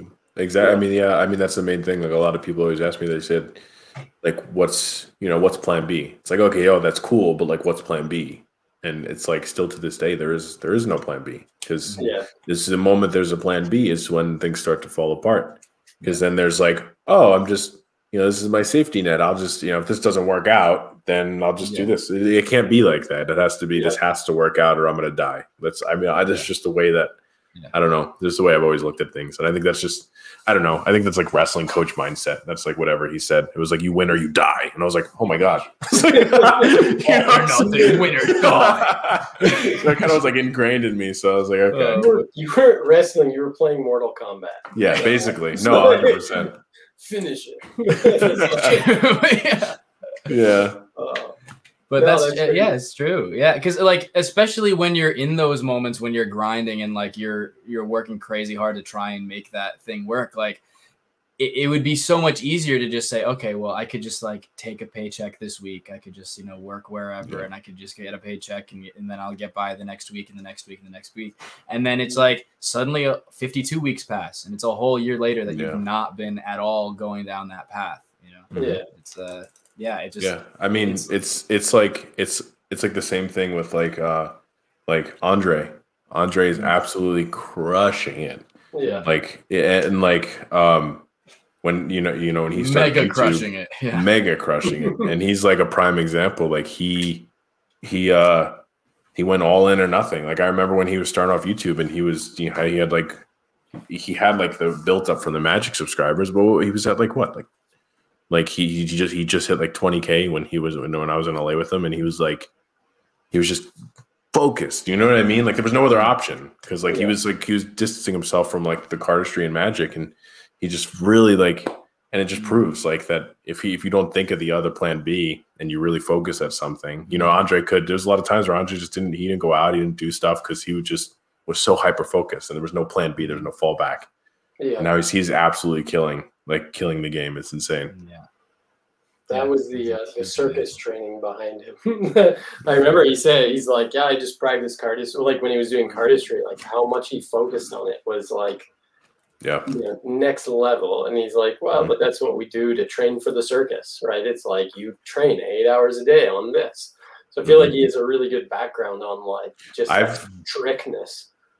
I've noticed athletes have are like always do well at social media. Like I have a buddy of mine. Uh, says his name is John Malecki, um, and he used to play in the NFL. Uh, and uh, and I graduated YouTube next up with him, and uh, he used to play in the NFL, and then he got dropped. He, used to play on the Steelers, and he and then he got dropped in the NFL, and he started woodworking, and he does and he does all work, and he's phenomenal at what he does and he's absolutely crushing it on YouTube right now. And I just found like it's just it's the it's that weird like athlete mindset of like just grind as hard as you can, and like yeah. eventually you're gonna see success. It's just wild to see, you know. And it's yeah. just same thing with Andrei. It's just that circus like training mindset.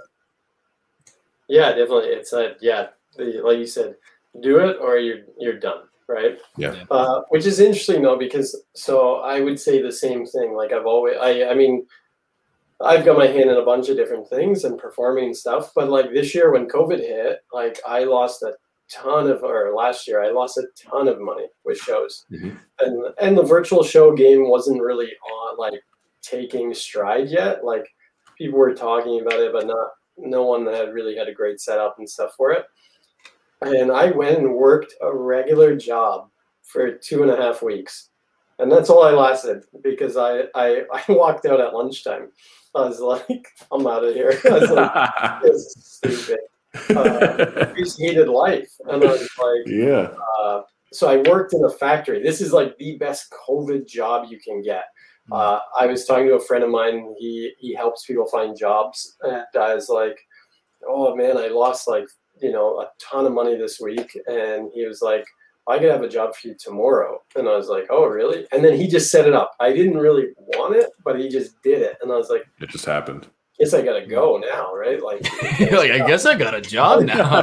He's like, I guess I got a job. I don't want to just not like show up on the first day and be like, oh, yeah, sorry, man, I didn't really need the job. But so I go and I'm I'm working on an assembly line making hand sanitizers for like hospitals. So it's like oh the God. COVID job ever. Like the only time that it's ever needed was uh, yeah. uh, was during COVID. And so after the first week, I was already like making changes to the schedule for the supervisors and stuff.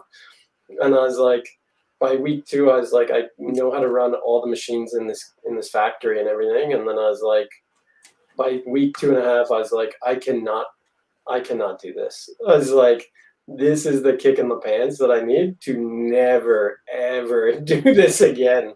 Yeah. But I feel like that was to me like it was never a plan B, but it was always it was like, oh, I failed plan A. Uh, so now let's get back on the horse and destroy. And uh, this year has been my best year ever. Uh, yeah, you know, it's like sometimes I think too many times when when we are failing, it's like oh no it's got to work or or people are like i'm too good like look at what i've done how could i do this other job you know and so for me it was humbling to see like what people do because i remember talking to a girl and i was like why do you work here? Like it's terrible. And she's like oh i know. I would quit in a second but the money is great. And i was like what? The money is horrendous. The money's so terrible. Yeah. But for most people they aren't on that same level of like creativity and all that and like having a passion and going after it.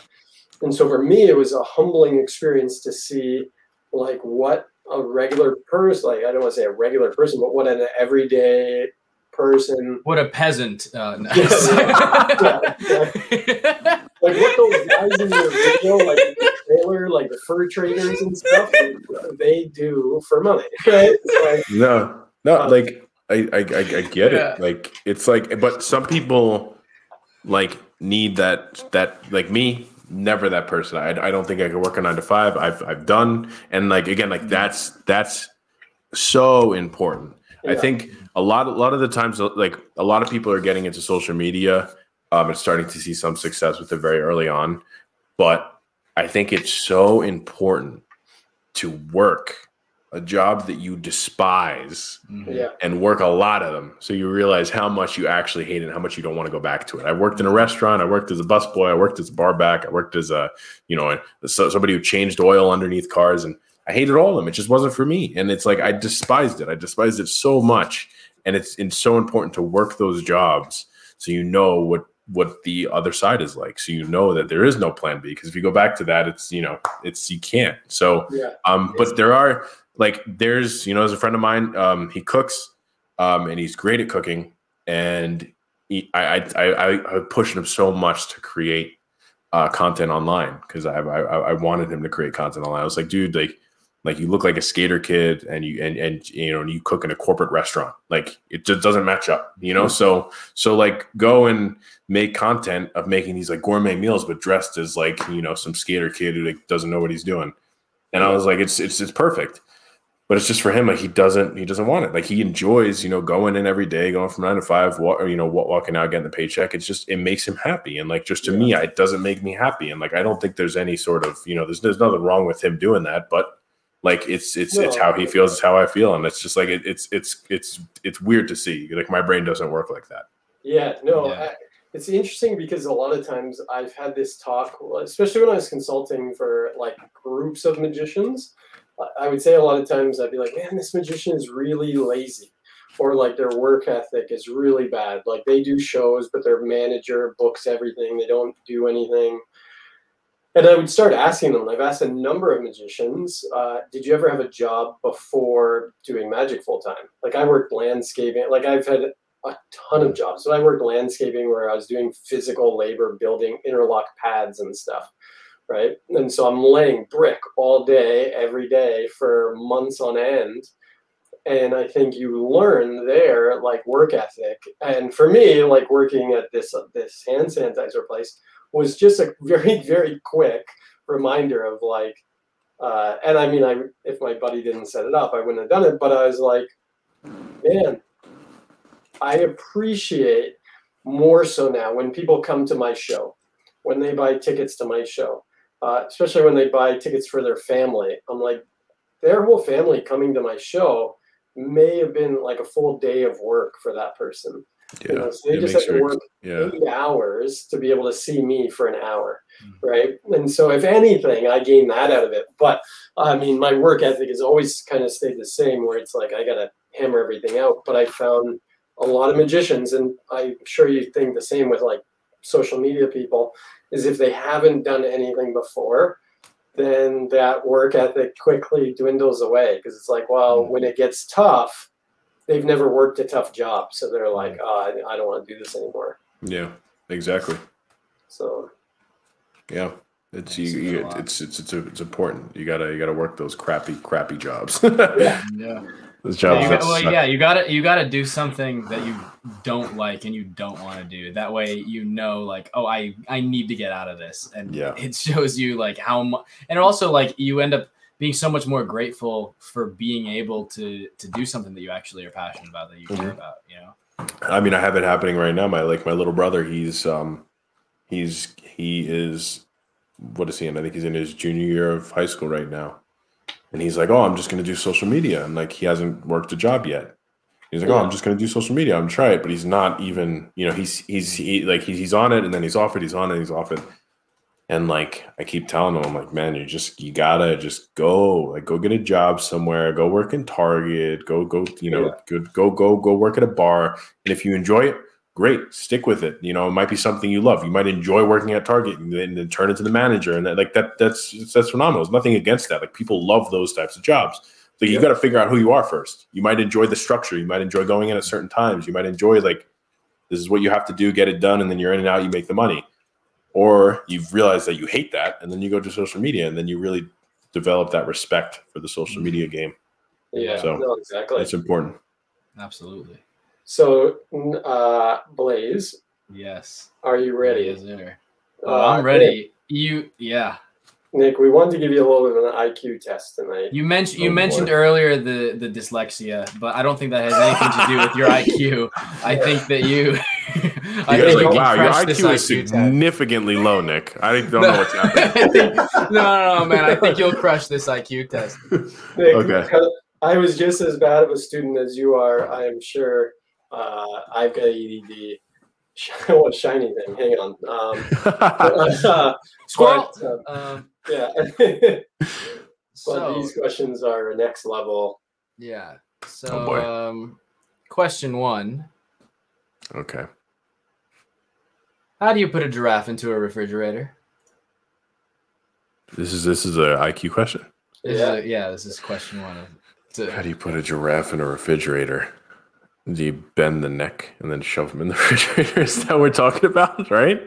Is this is what we're going on about, right? I mean, it's a, it's a couple steps. You know. Okay. Cut up the giraffe, put it in the refrigerator. Is this is that morbid? Wow, I'm sorry. Is it a, Wow. is it a dead giraffe or, Wow, or, or is it a dead giraffe or a, an alive giraffe? This is a live giraffe. oh, it's a live one. Okay. This is um, magic after dark, but that got how- real dark real How quick. far back is the elevator? Uh, like, is it a big like restaurant freezer or is it like? these, these are all questions that you have to answer for yourself. How do you? Yeah. How do you put a giraffe into a refrigerator? Well, All the detail. well, if it's uh, well, if it's a like like like a restaurant refrigerator, you would lay it on its side and then slide the giraffe in because those things go pretty far back. If it's a normal refrigerator. You bend the giraffe's neck down and put it in. I don't know. This is just me guessing. I don't even know. What, I don't even know how to answer this question. I mean, you're you're you're kind of half right. You know. You're, you're close, yeah. Yeah. I mean, I, I think that you missed I mean, out on like, you- you opening could- the oh, oh, refrigerator and closing the door. Those two parts were. Oh, you those definitely got to parts. open the door to put it in. You got to Oh, open okay, the refrigerator, cool. put the giraffe in, and close the door. This question Okay, tests so- whether you're doing simple things in a complicated way. Alright, Like- like chopping Okay, up the, chopping up a live uh, giraffe. Yes. I, we, I didn't up say. I live didn't, I didn't say alive. I said snapping just chop it, off, snapping his neck, snapping its down. neck and putting it in. It. So yeah. All right. Uh, so Ryan, you want to ask the next Okay. question? So it's it's going to be these types of questions. Question two is how Oh, do you put an elephant in a refrigerator? Remember, these are multi-step answers. Okay. Open the refrigerator. Put the elephant in the refrigerator. Then shut the refrigerator door. I'm sorry. Oh, unfortunately, that's absolutely wrong. incorrect, Nic.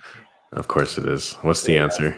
The correct answer was uh, it, it is the wrong answer is open the refrigerator, put the elephant in, and close the door. The correct answer is open the refrigerator, take the giraffe Oh my out, put the elephant in, dude. and close the door. This tests your Oh. ability to think through the repercussions of your actions. All right, so right now we're uh, That's we're two. 0 for 2. That was Strike two. Um, Okay.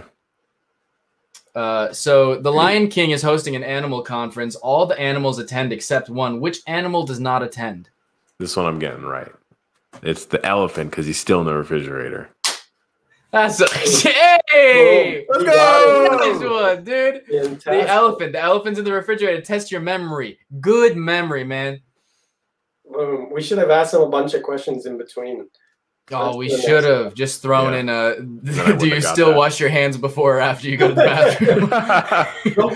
Someone actually, I think it was Sasha, uh, uh, commented earlier that that's your guilty pleasure. Is oh yeah, washing your hands before going to the washroom. That's the new guilty pleasure. and uh, and we have a final question for the IQ test, or maybe not the final question, but let's see. Um, there's, a river, you must, cross. yeah. cross, but it is inhibited by crocodiles. How do you solve the problem? oh my god. Is I don't even know. Is it because I feel like this is going to be some sort of answer that has to do with the previous freaking answers. like maybe put the crocodiles in a refrigerator or some crap. There's a river you must cross, but it is inhabited by crocodiles. How do you solve this problem? I I don't even know, guys. This is gonna be this is a tough one. It probably has something to do with the with the hosting of the the the an- all the animals at the thing. You know, But, like- funny is I asked all of my, I asked a couple neighbors this question tonight. Like I went through all the questions with them, Yeah. uh, to test them out, and everybody was stumped on this question. Um, but you were I feel like you were you- pretty but close. you know, I think that you're using some logic. If you were to just put the answer how you solve the problem of crossing the river into like a one answer, you know, what would you say? How do you cross? How do you cross the river? Um, you swim across, or you walk over a bridge.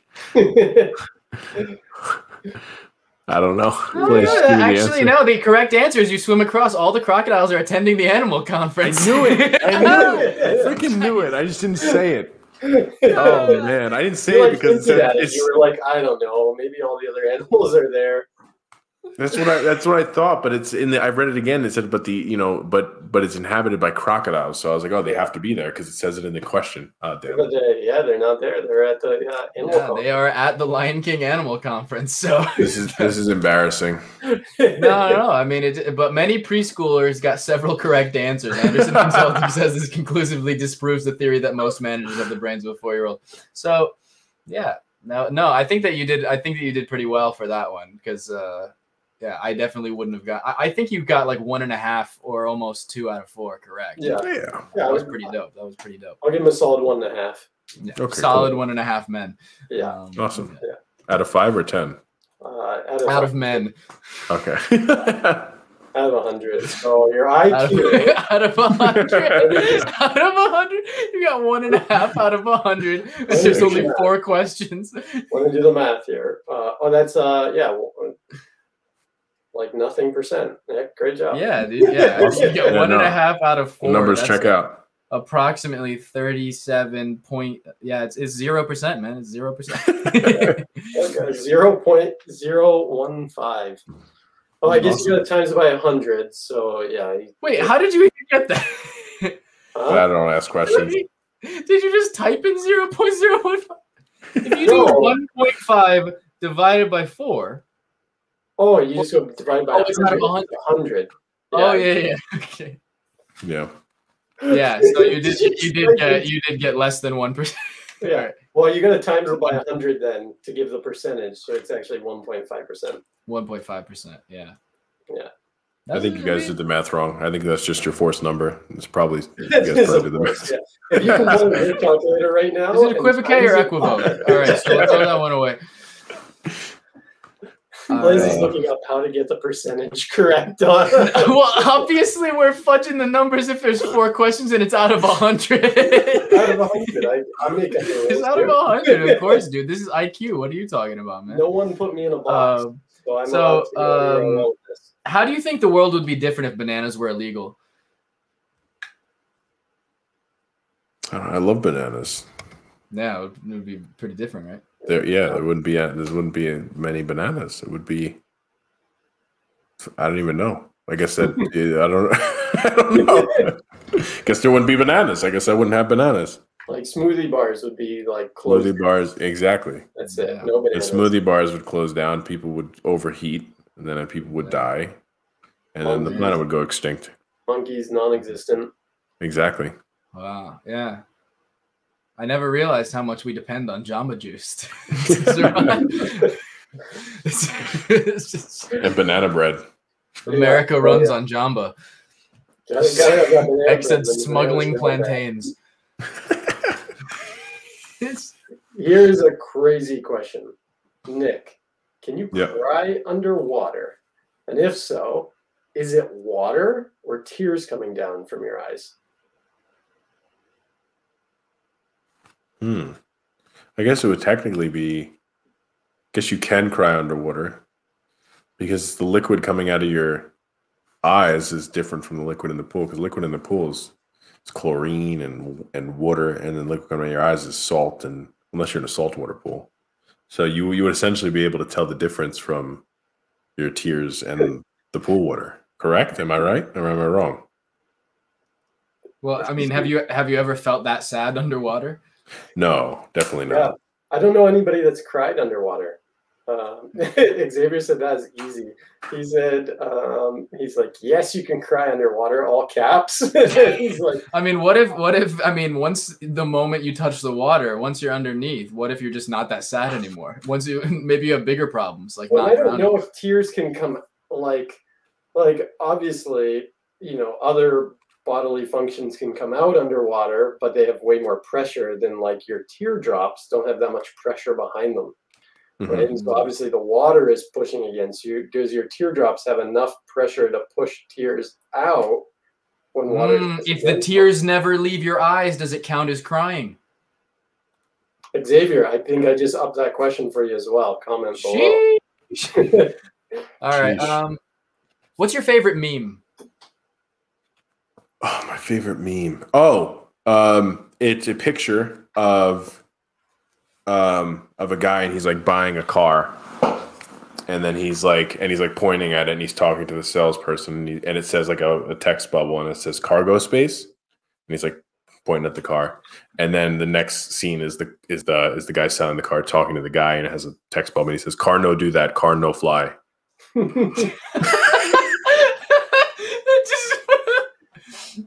It's so stupid. do that card.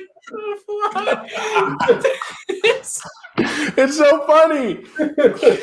cargo space. Cardo do that. Cardo fly. oh, uh, and then uh, and uh, and the one where it's like a girl and she's like laying and she's like dying, and then she's like, "Call me an ambulance," and the guy's like, "You're an ambulance." That's a bad one. that one's bad. oh my god. It's so funny, and it's uh you you could find all these puns on PunHub on on uh, on Instagram. That's where I get them all from. Call me an ambulance meme. All right, and then it's just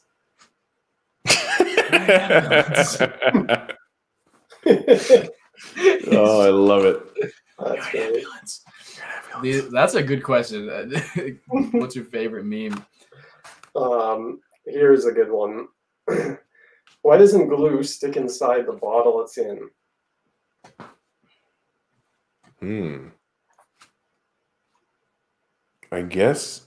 I mean, it definitely has something to do with the, uh, like it reaching air, like by itself. It, I guess it has to do something more with like, because there's so much of it, and it's there's not a lot of oxygen within the bottle, that's causing it not to dry.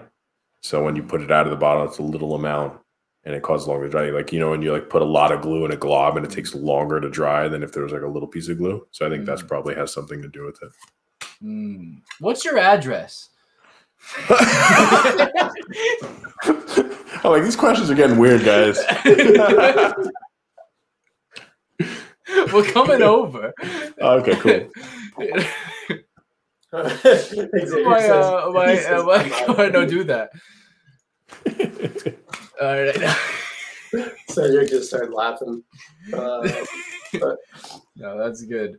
I, Uh, we I, said uh, we, we totally told everybody at the start of this show though that tonight would be full of just like crazy questions, lots of laughter, stupid stuff. Just I feel like it's a good break from COVID crap. Yeah. Mm, yeah. Exactly. And who, and who likes people who are serious? Not me, not this guy. Yeah. Not this guy. Well, no, we Not had some guy. deep moments. We had some Nic deep moments. Then we came up for uh, air. Yeah. What got you into magic? It's like, oh, well, guys, like, listen, I get into magic. Like, it's like nobody wants to see that. Yeah. I'd rather. That's why I'd we had all of that in the rapid fire question. Rapid fire. We could get rid of a lot of these questions really quickly. you know, like who's your favorite magician? Thurston. Uh-huh. Mhm. Okay. That's good. Works out. You know, Yeah, Thurston. No, that's interesting. I- I, have never got- heard somebody say Thurston as their favorite magician. That's a really I, I. I really, I really got stumped on that. It's probably Yeah. honestly Ricky It's like J. Nic didn't know. He's just But like, uh, uh, it's it's pro- it's probably Ricky Jay or, or, or like or ha- and like Howard Thurston. These are just people from like card throwing. So that's the only Mm. reason I said that. Yeah, like cards as weapons and everything. Yes, sir. Mm, it's dope. Nice. nice, And that was was that like so when you were studying card throwing, cards as weapons, was that like a big resource for you? Kind of. I actually didn't read the book till like later on. Mm. Um, it was more of just like it was, it was it was weird. Like I think a lot of it was just from the camp counselor, and then there wasn't much YouTube tutorials or anything. Like the only thing, like there, you know, the, there was like small tutorials here and there, but like really like getting into it, there wasn't really much on it. And like the stuff that was on it, you had to buy, and like I didn't really have that much money, so I wasn't. I didn't want to like buy like the Rick Smith Jr. DVD, and I didn't want to buy like you know, Cards as Weapons book. I was just lazy. So I just kind of like just worked on a bunch of different grips and did a bunch of different things and saw what worked better. And I was like, oh, I'll just figure it out myself. Now, here's a good thing because we've had Rick on Magic After Dark on the Instagram series.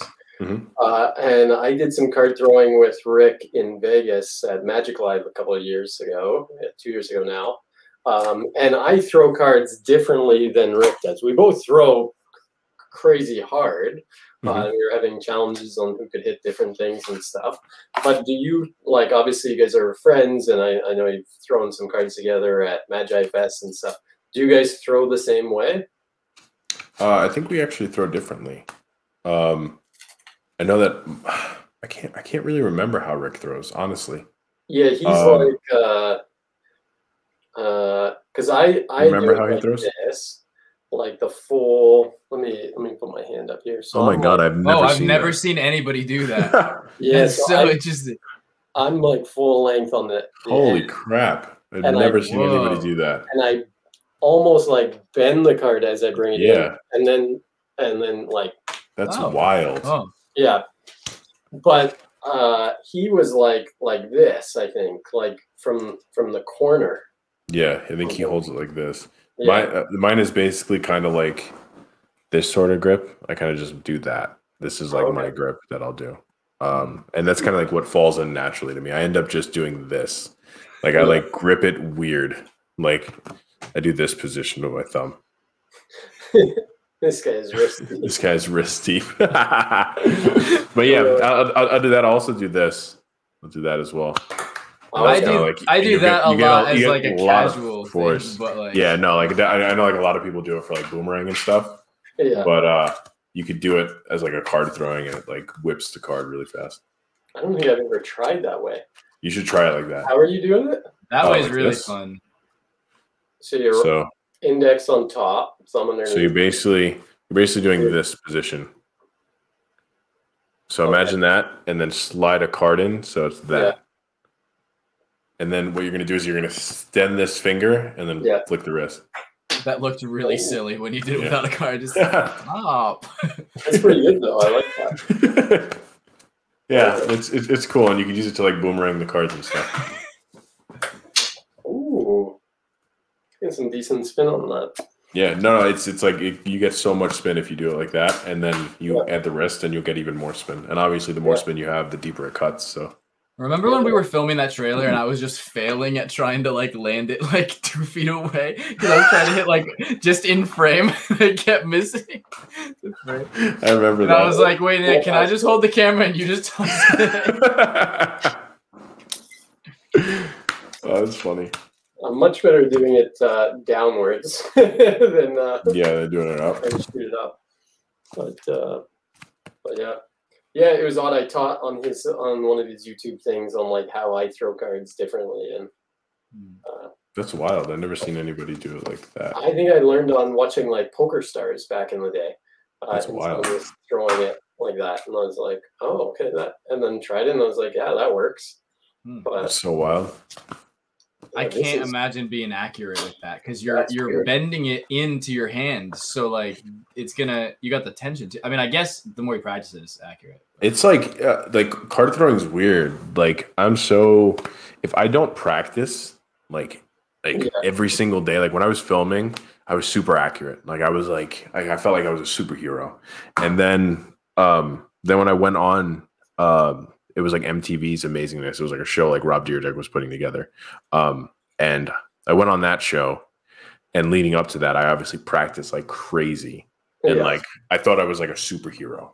Like, cause like then I was like super ag- every single day for like six hours a day. I was throwing cards just so I could get out there and perform well. And then like it's crazy. Like it's like it's not one of those things where like it's not like riding a bike. Like card throwing, if you're not practicing like leading up to something where you have to throw the cards, you're gonna drop off and you're gonna be so like not accurate. Yeah. Really weird. Really, really weird. Interesting. So I know if you don't like- use it, you lose it. Exactly. Yeah. Yeah. Well, Rick was telling me as well, like, you know, he's really, really accurate within like six feet or something like that. Like Mhm. six feet, which I feel like most of us that throw cards are probably pretty good within six feet. But, Mhm. uh, you know, I know he has like the distance record and stuff like that. Did Any of that stuff ever like cross your mind? Like, hey, let me try to compete with him and, and go after those records? Uh, it really wasn't a thing because, again, like it's not those things. It's I don't know. It, it's not one of those things. It's never something that really like intrigued me. With even the same thing with gaming, like I, I just not being competitive in a sense of like being the best. Like Yeah. you know, like I I don't I don't really care to compete to be the best, and like not saying that I could, not saying that I could even compete with him, but Yeah. like I'm just saying, like it was it was never something where like, oh, I want to be the best card thrower. It's like, no, I want to be the card thrower that makes the best looking videos, or like the card thrower that eh, it, it has like the coolest, you know, cinematic fight scenes and stuff. Like that's kind of more intriguing to me than like being, you know, Yeah. holding a record.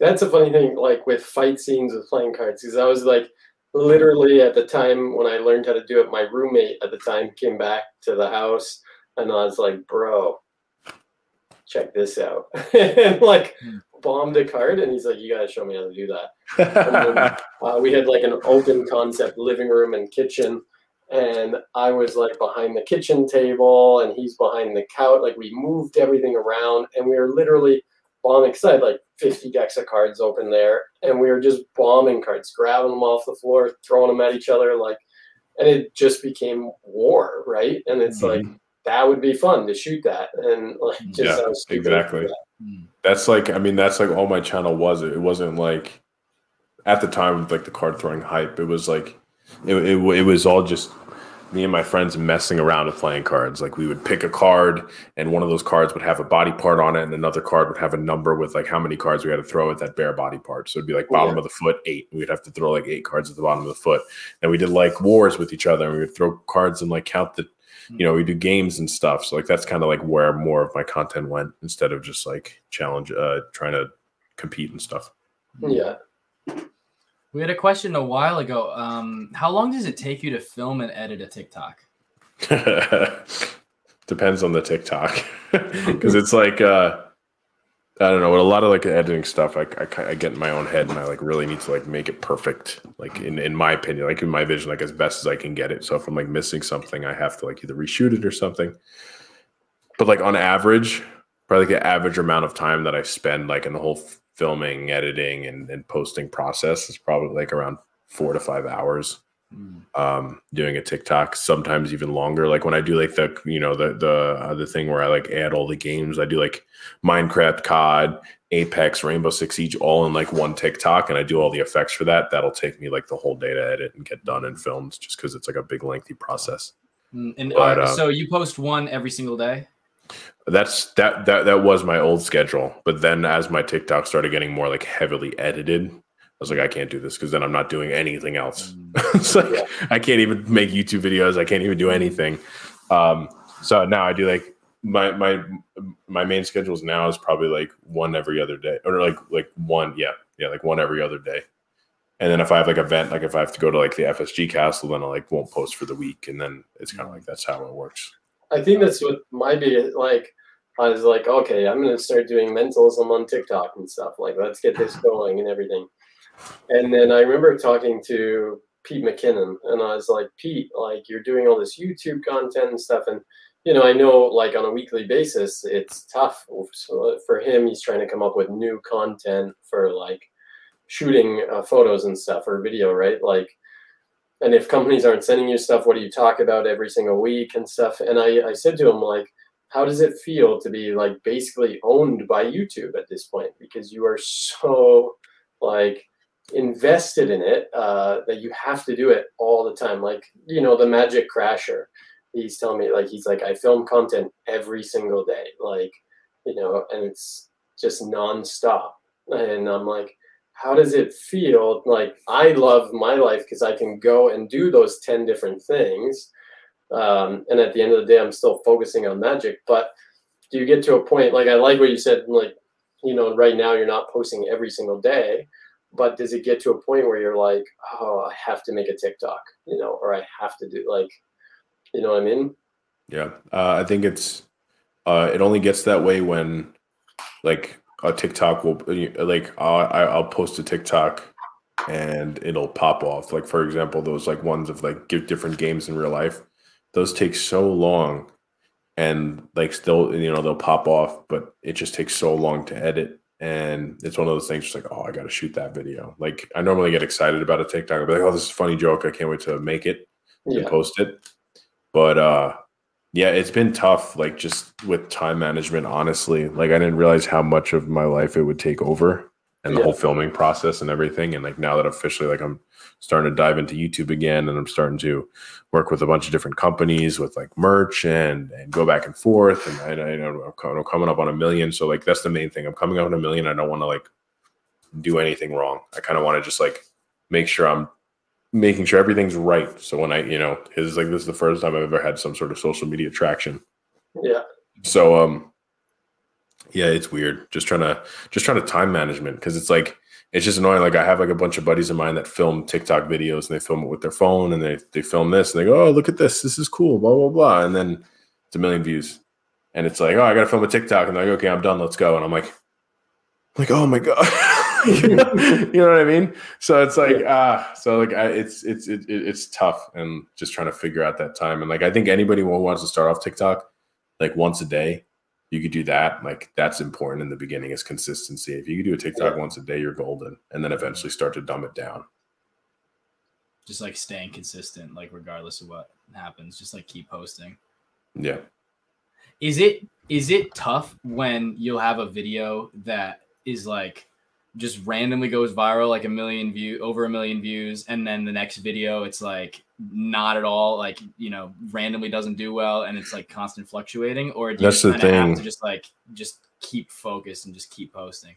That's the thing about like tiktok's algorithm like it's it's it's such a weird algorithm because it's not like like somebody will follow you and even though they're following you they will not get pushed your content if they like if they like skip three of your videos when they're scrolling once and they like skip three of your videos and they just don't watch them and they they're scrolling through like their following page, you TikTok will be like, oh, they hate your content, and then they will stop showing their content to you until that you pop on you pop up on their for you page again and they interact with it. Then it's like, oh, they probably like him. Let's feed him more of his content on his following page. Very weird how the hmm. way it works. So um it'll just shut off your followers basically. And like it's weird. Some videos will do well, some videos won't, and like it's such a large fluctuation with TikTok, and that's why like I try to stay away from it. And it's like funny because like my mom will call me and because she follow she follows it, she's always watching my videos and stuff. She'll always like, "Did you see your video? It hit this many views, and it's it's doing this well in this hour, and your videos normally don't." And I'm like, like mom, like, and she's like, "You don't pay attention." I'm like, "No," because it's like you get in your own head, and then yeah. you get you get upset. Like it'll ruin your day, and like I hate being that guy because like I always see these people and they don't get their views and they get upset for the whole day. And it's an actual thing. Like you you put all this time and and and and love into a video and you're like, oh, it's gonna do well, and you post it and it flops and nobody likes it and it gets not not as many views as the previous one, and then your day's ruined. And it's crazy. And like I don't want to intentionally do that, but it's just like the days that my videos do well, I find myself being so much more happier than the days when they don't do well. And it's like I hate that. I hate that feeling. So I wish there's a way I could just post it and then just like never look at it. But I have to reply to comments and I have to like I just I wish I could do that. Here's a question. So this is going back. I mean, we I think we all remember when like Instagram changed their algorithm from like chronological order to whatever it is now. Uh, mm-hmm. and then all of these other companies were like, uh, or apps and stuff were like, oh, we need to have a different algorithm.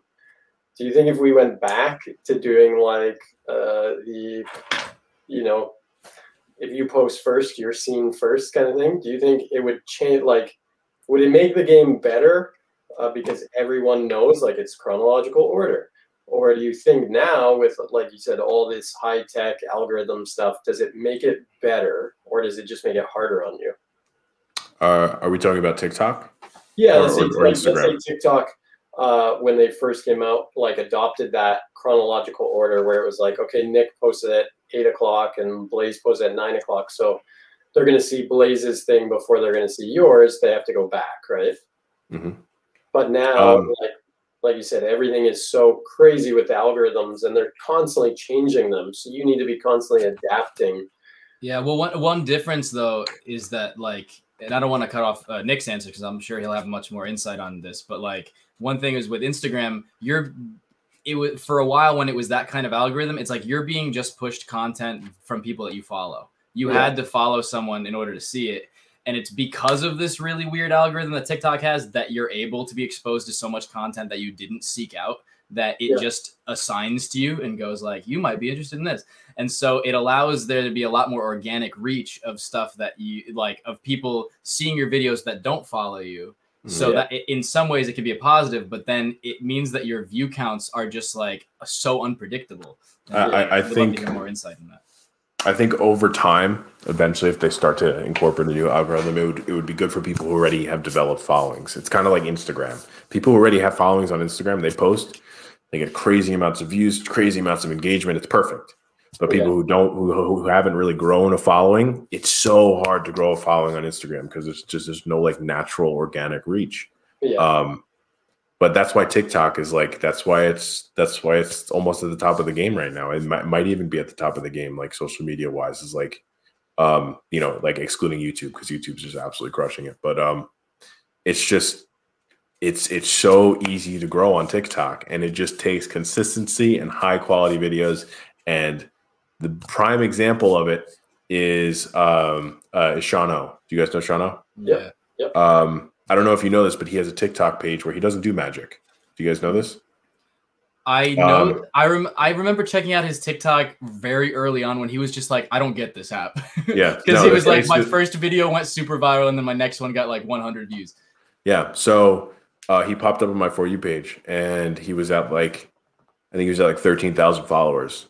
Um, and reached out. He was texting me. He's like, "Dude, I don't, I don't know what TikTok is." He's like, and he was posting for like probably like a month and a half every single day, high quality videos, so well edited, and he was getting like like a thousand views if lucky on each video, and he wasn't growing at all in followers. And I was like, dude, just like, and like I told him, I said, your content is is way better than mine, way better than anybody I've seen on TikTok. I was like, keep posting and you're gonna explode.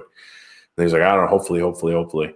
And like right now, he's like at four hundred thousand, I think, Mm. and he's like getting like consistent, like a hundred thousand video, like views per video around there. And it's just like it's so cool to see because like TikTok has that organic growth. And yeah, like you were saying, like it pushes you what you want to see. But it's funny because like we were with this one guy.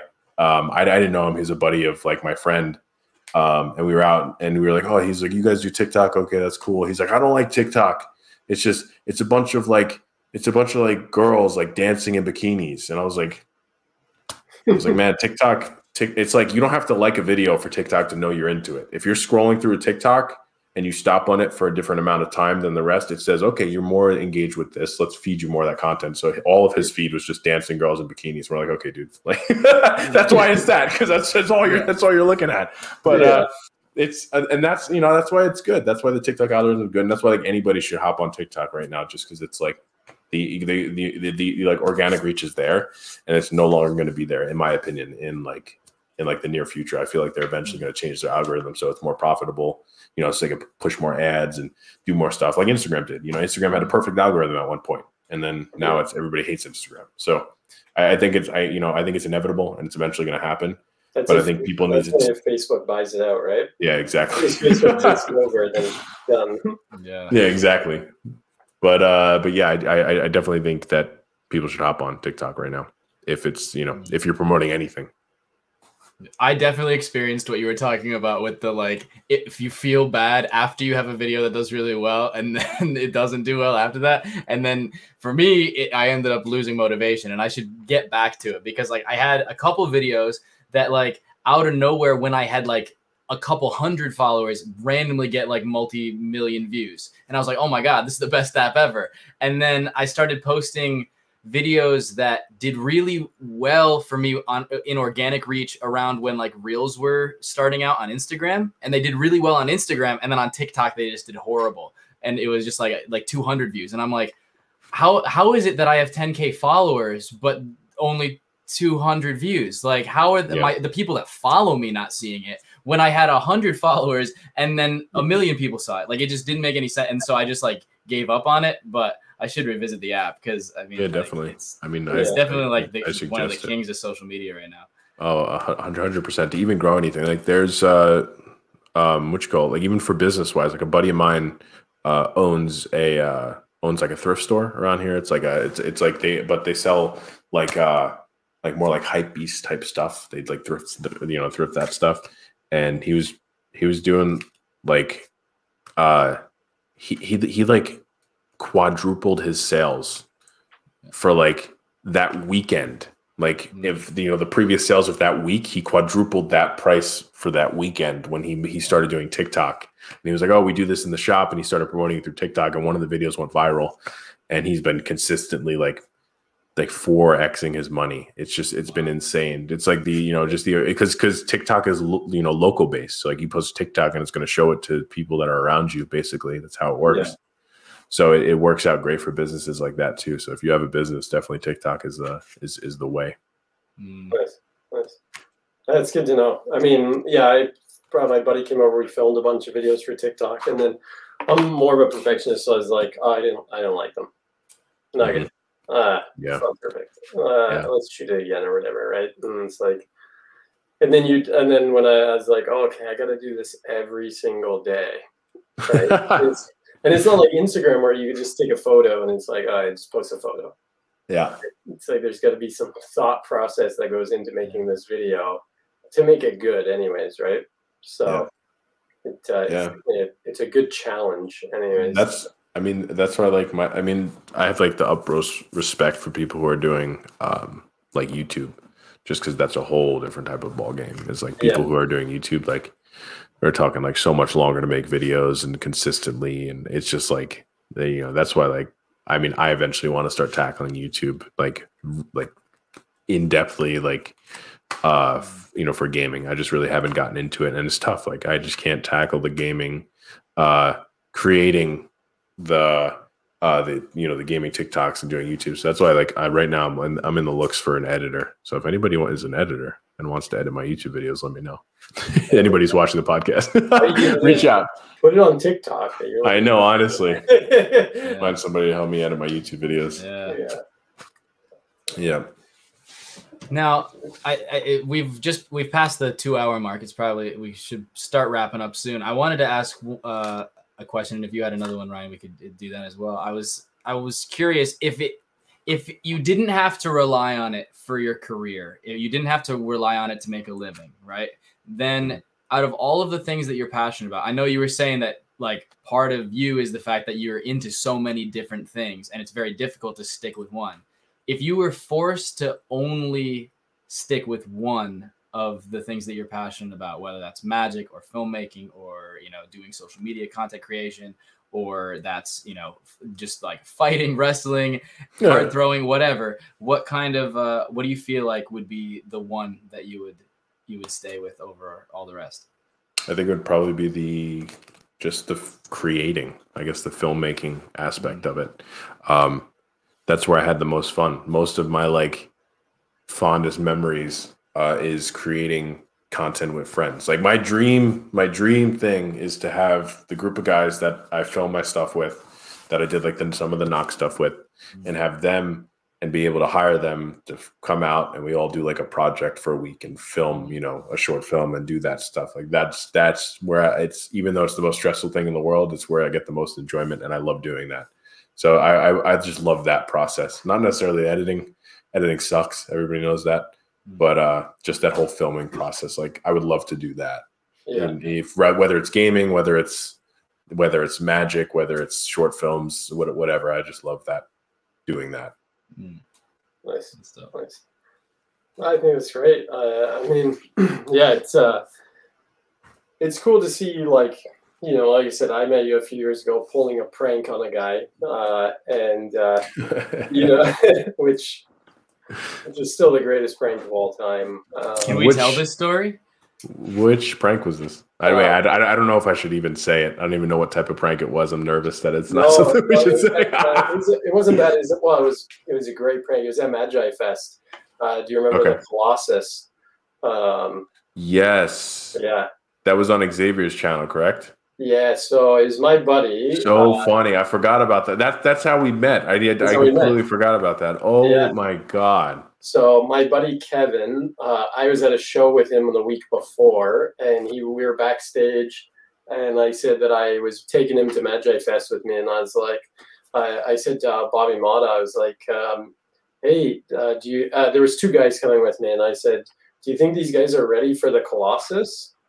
And the one guy is like hyper, um, I guess, anxious about things. Like if he doesn't know what it is, so he is like what's the Colossus? And I was like, oh, you gotta wait and find out. And then we basically said, like, all right. Then I asked the next thing. I was like, so who do you think's gonna cry first when they get the Colossus? Like Kevin or uh, the other guy's name was Xavier as well. And I was like, or Xavier. And Kevin was like, I'm gonna cry first for sure.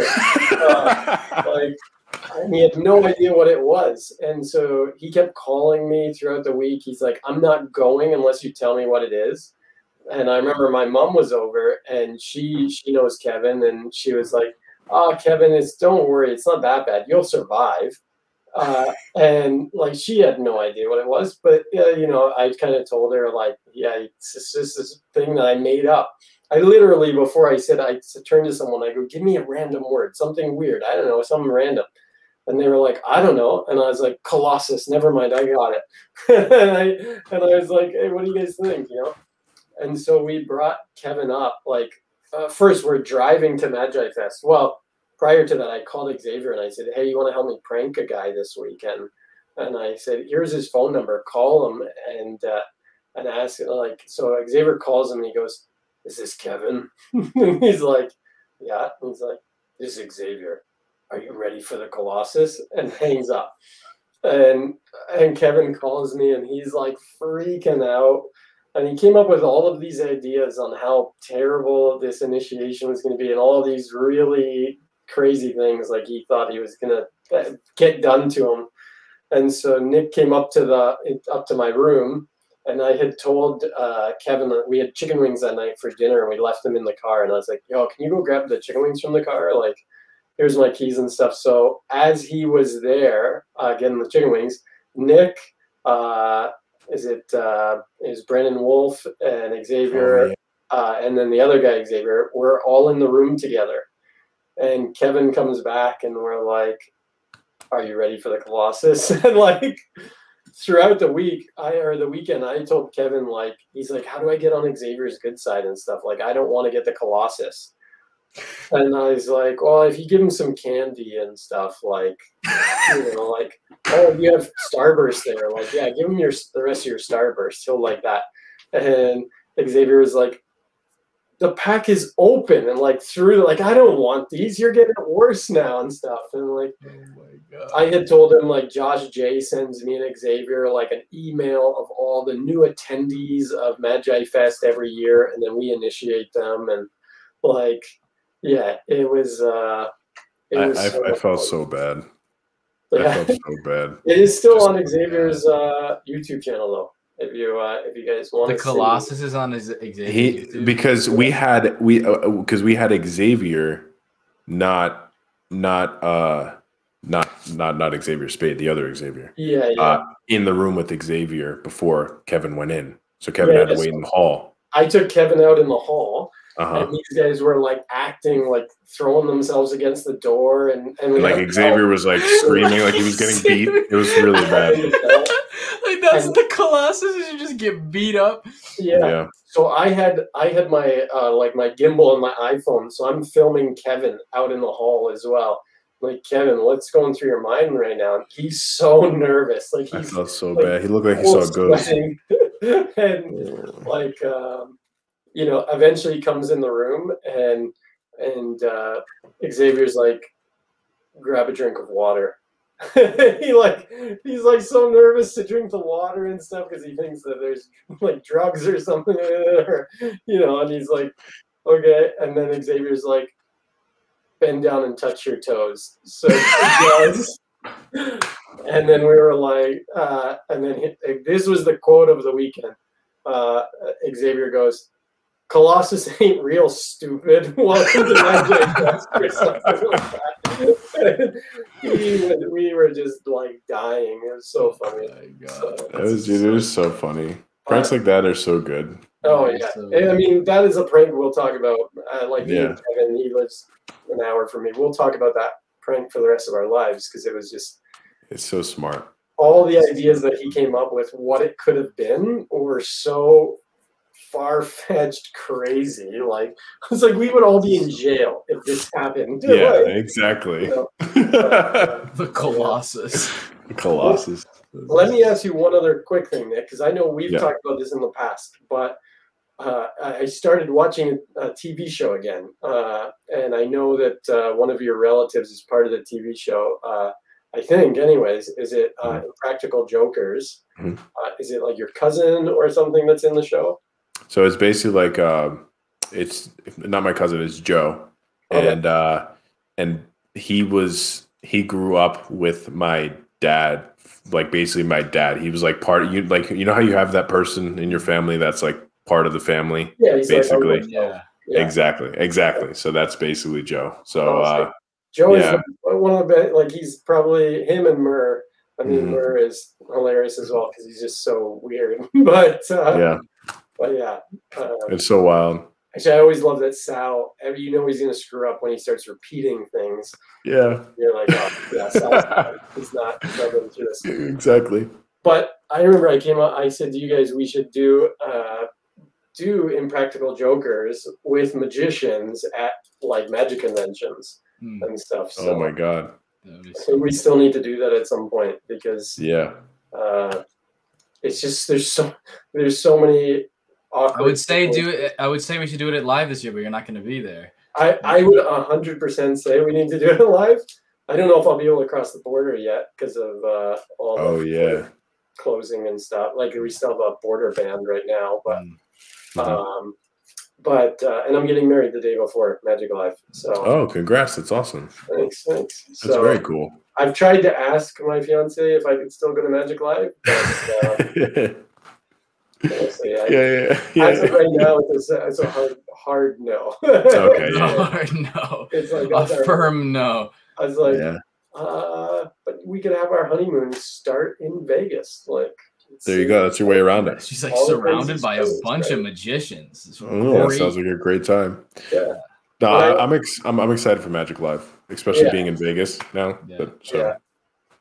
you guys are coming to my home. Oof. Well, I'll Yo, see turf. you in 2022. yeah, exactly.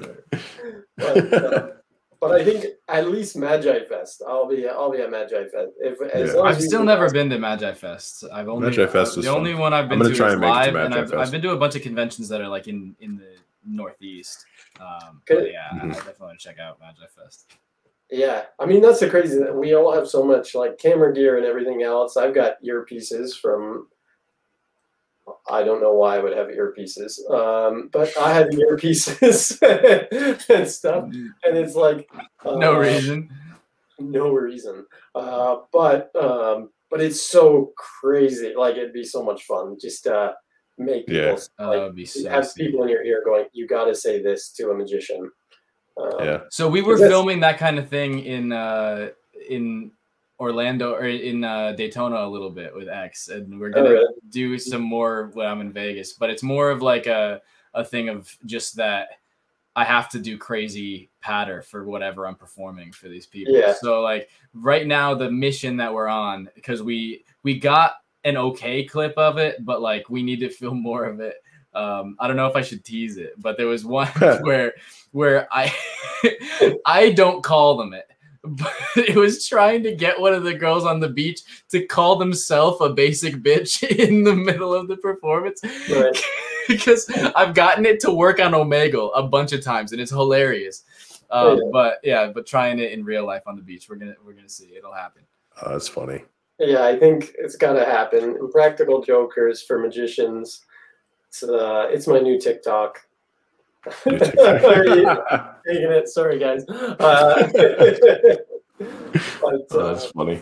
but it would be crazy. Like, yeah, I just think of so many things. Like, is uh, when Q is calling the guy mustache, a mustache. like, you know, like. I love good at- Impractical Jokers. Joe is hilarious. He's one of my favorites. Yeah. Yeah. It's uh, such a great show. Uh, but I think, yeah, magicians, we could easily do like, and it would be hilarious to send you up to like, oh, hey, Blaise, you got to go talk to Copperfield. And, uh, and like, Oh my gosh, just mess up everybody's name when you go Yeah. up to him. yeah, Oh, we we had a thing with with Four Suits Magic. We had a thing where like any time that you saw um Rob Zabrecky, yeah. uh, we would go up to him and be like, "Oh my god, are you are you Robert Zabreakfast?" Yeah. Oh my we god. gotta just have those for all different magicians. Go up to Copperfield, call him Criss Angel. Yeah. You Chris my- Hey, Chris Angel? Angel. You Chris Angel? Can I do a You trick Chris for you? Angel? Can I show you a trick, Chris? are you David Blaine? yeah. Are you, are you David Angel? Are you David Yeah. Angel? Are A you- are couple years ago at live, I tried. What were we gonna say? No, Yeah. keep going. I was gonna say Chris Blaine. Just keep Chris going. Chris Blaine? Uh, a couple years ago at live, I tried to. I was able to do it. I, it like way way lamer of a prank than what you're talking about but basically convincing a ton of people at live that there was a thing at the dealer's booth um, that was like just a made up trick and getting a bunch of people to all look for this made up trick and i just described like some crazy thing i was like all right so it's called pure psych you hand it so the, the guy that does it his name's daniel silvertree and he hands he hands he does it on stage he hands somebody in the front row a jumbo card and they're holding it up above their head with the back towards the rest of the audience and the face towards him. And then he just tell he tosses a ball in the audience. Whoever catches it names any card, and then they just the person in the audience that's holding it just turns around it, and everybody in the audience sees that they've been holding the card that was just and and so then everybody was just like, oh my god, that sounds like so sick, that's crazy. And so I was like, yeah, it's Daniel Silvertree. And all I did is I just took David Copperfield and I was like Silver Tree instead of Copperfield. So I was like, oh, it's Daniel Silver Tree. Silver Tree. Oh, that's funny. And I had people messaging me about it after live. They were just like, "Man, I just never got to see it at the dealer's booth. Man, I couldn't find Daniel." Do you have a link? Do you have a link on Penguin Magic? Can you send me the? Yeah, can you, can you send me the? this has been good, guys. I enjoyed this. This has been a lot of fun. Yeah. Thanks for having Thank me. you so everybody. much for coming on, man. Yeah, yeah, yeah thank you for being the first guest on Magic After uh, Magic After Live. Magic, so, Magic dark, After Live. Dark Magic before. So it's late. That's okay. But um, yeah, we. Uh, how about Ryan? You and I can wrap things up where we do the giveaway. Sounds but, good. Uh, Sounds good. Yeah. Thank you so much uh, again for coming on. Question. We'll ask a question about Nic. Actually, do you want to do it while he's here? and we'll see if someone remembers one of the 16 questions that he got through. Mm, all right. Oh, so, for everybody that's still in the chat, you can win any download on Lost Art Magic Holy if you answer this question correctly. All right. So, we got to decide which uh which question it was that Nic, uh, pick a number between 1 and 16. Me? Yeah, yeah, any number between 1 and 16. 8. Eight. All right. Okay. So this is an easy question. This is an easy question because this one was very memorable. So yeah. for everybody in the chat, what was Nic's dream setting for a video that he said when we did the uh, when we did the the 20 questions? He, we asked what would be your dream setting for a video. First person to comment, you get uh, free downloads. Um, someone, while we're waiting for someone to uh, to answer, hopefully, Sasha asked uh, for everyone. He says, "Do you feel like social media has grown so much uh, that if you're on one platform, you have to be on all of them? Uh, and is that even possible because of how much work is required to produce quality content?" And he just got it right as well. Sasha got yeah. it right. do you feel like Sasha, nice job. Did Sasha win one of the previous ones too? Uh, I don't know. I don't think so. Maybe. No, I think it might be a different different Sasha. I think it's a different, different person. person. So Sasha, hit me up on mentalism.ca uh, with your email address and the product that you'd like, and I'll let's go. Congratulations. Boom. Ah, uh, Sasha came close with one. I knew he was guessing uh, before, so yeah. But uh, well, congrats. Very cool. Yeah, but that's a good question about the social media thing. Yeah, I mean it's it's tough to try and focus on all of them at once. Like yeah. What what would you that's say, true. Nic?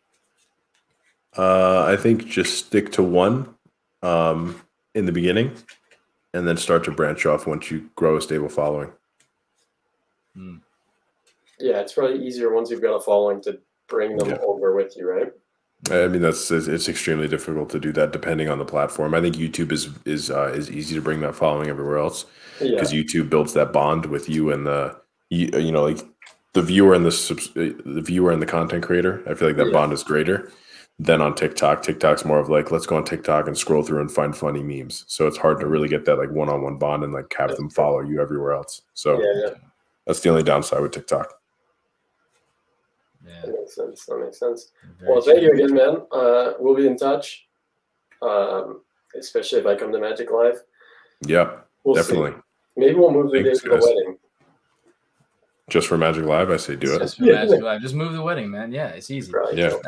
But uh, again, uh, also everybody, if you would like to hang out with I'll us, if you would light. like to join this community, you can uh, check out 1v1magic.com. You can join the Magic Discord. So here you can see it in the bottom left over here, uh, 1v1magic.com.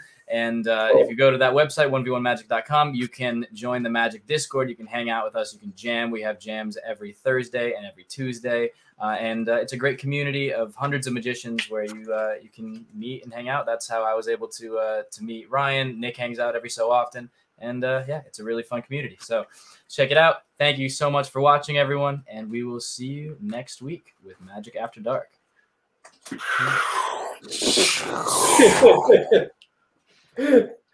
Nic is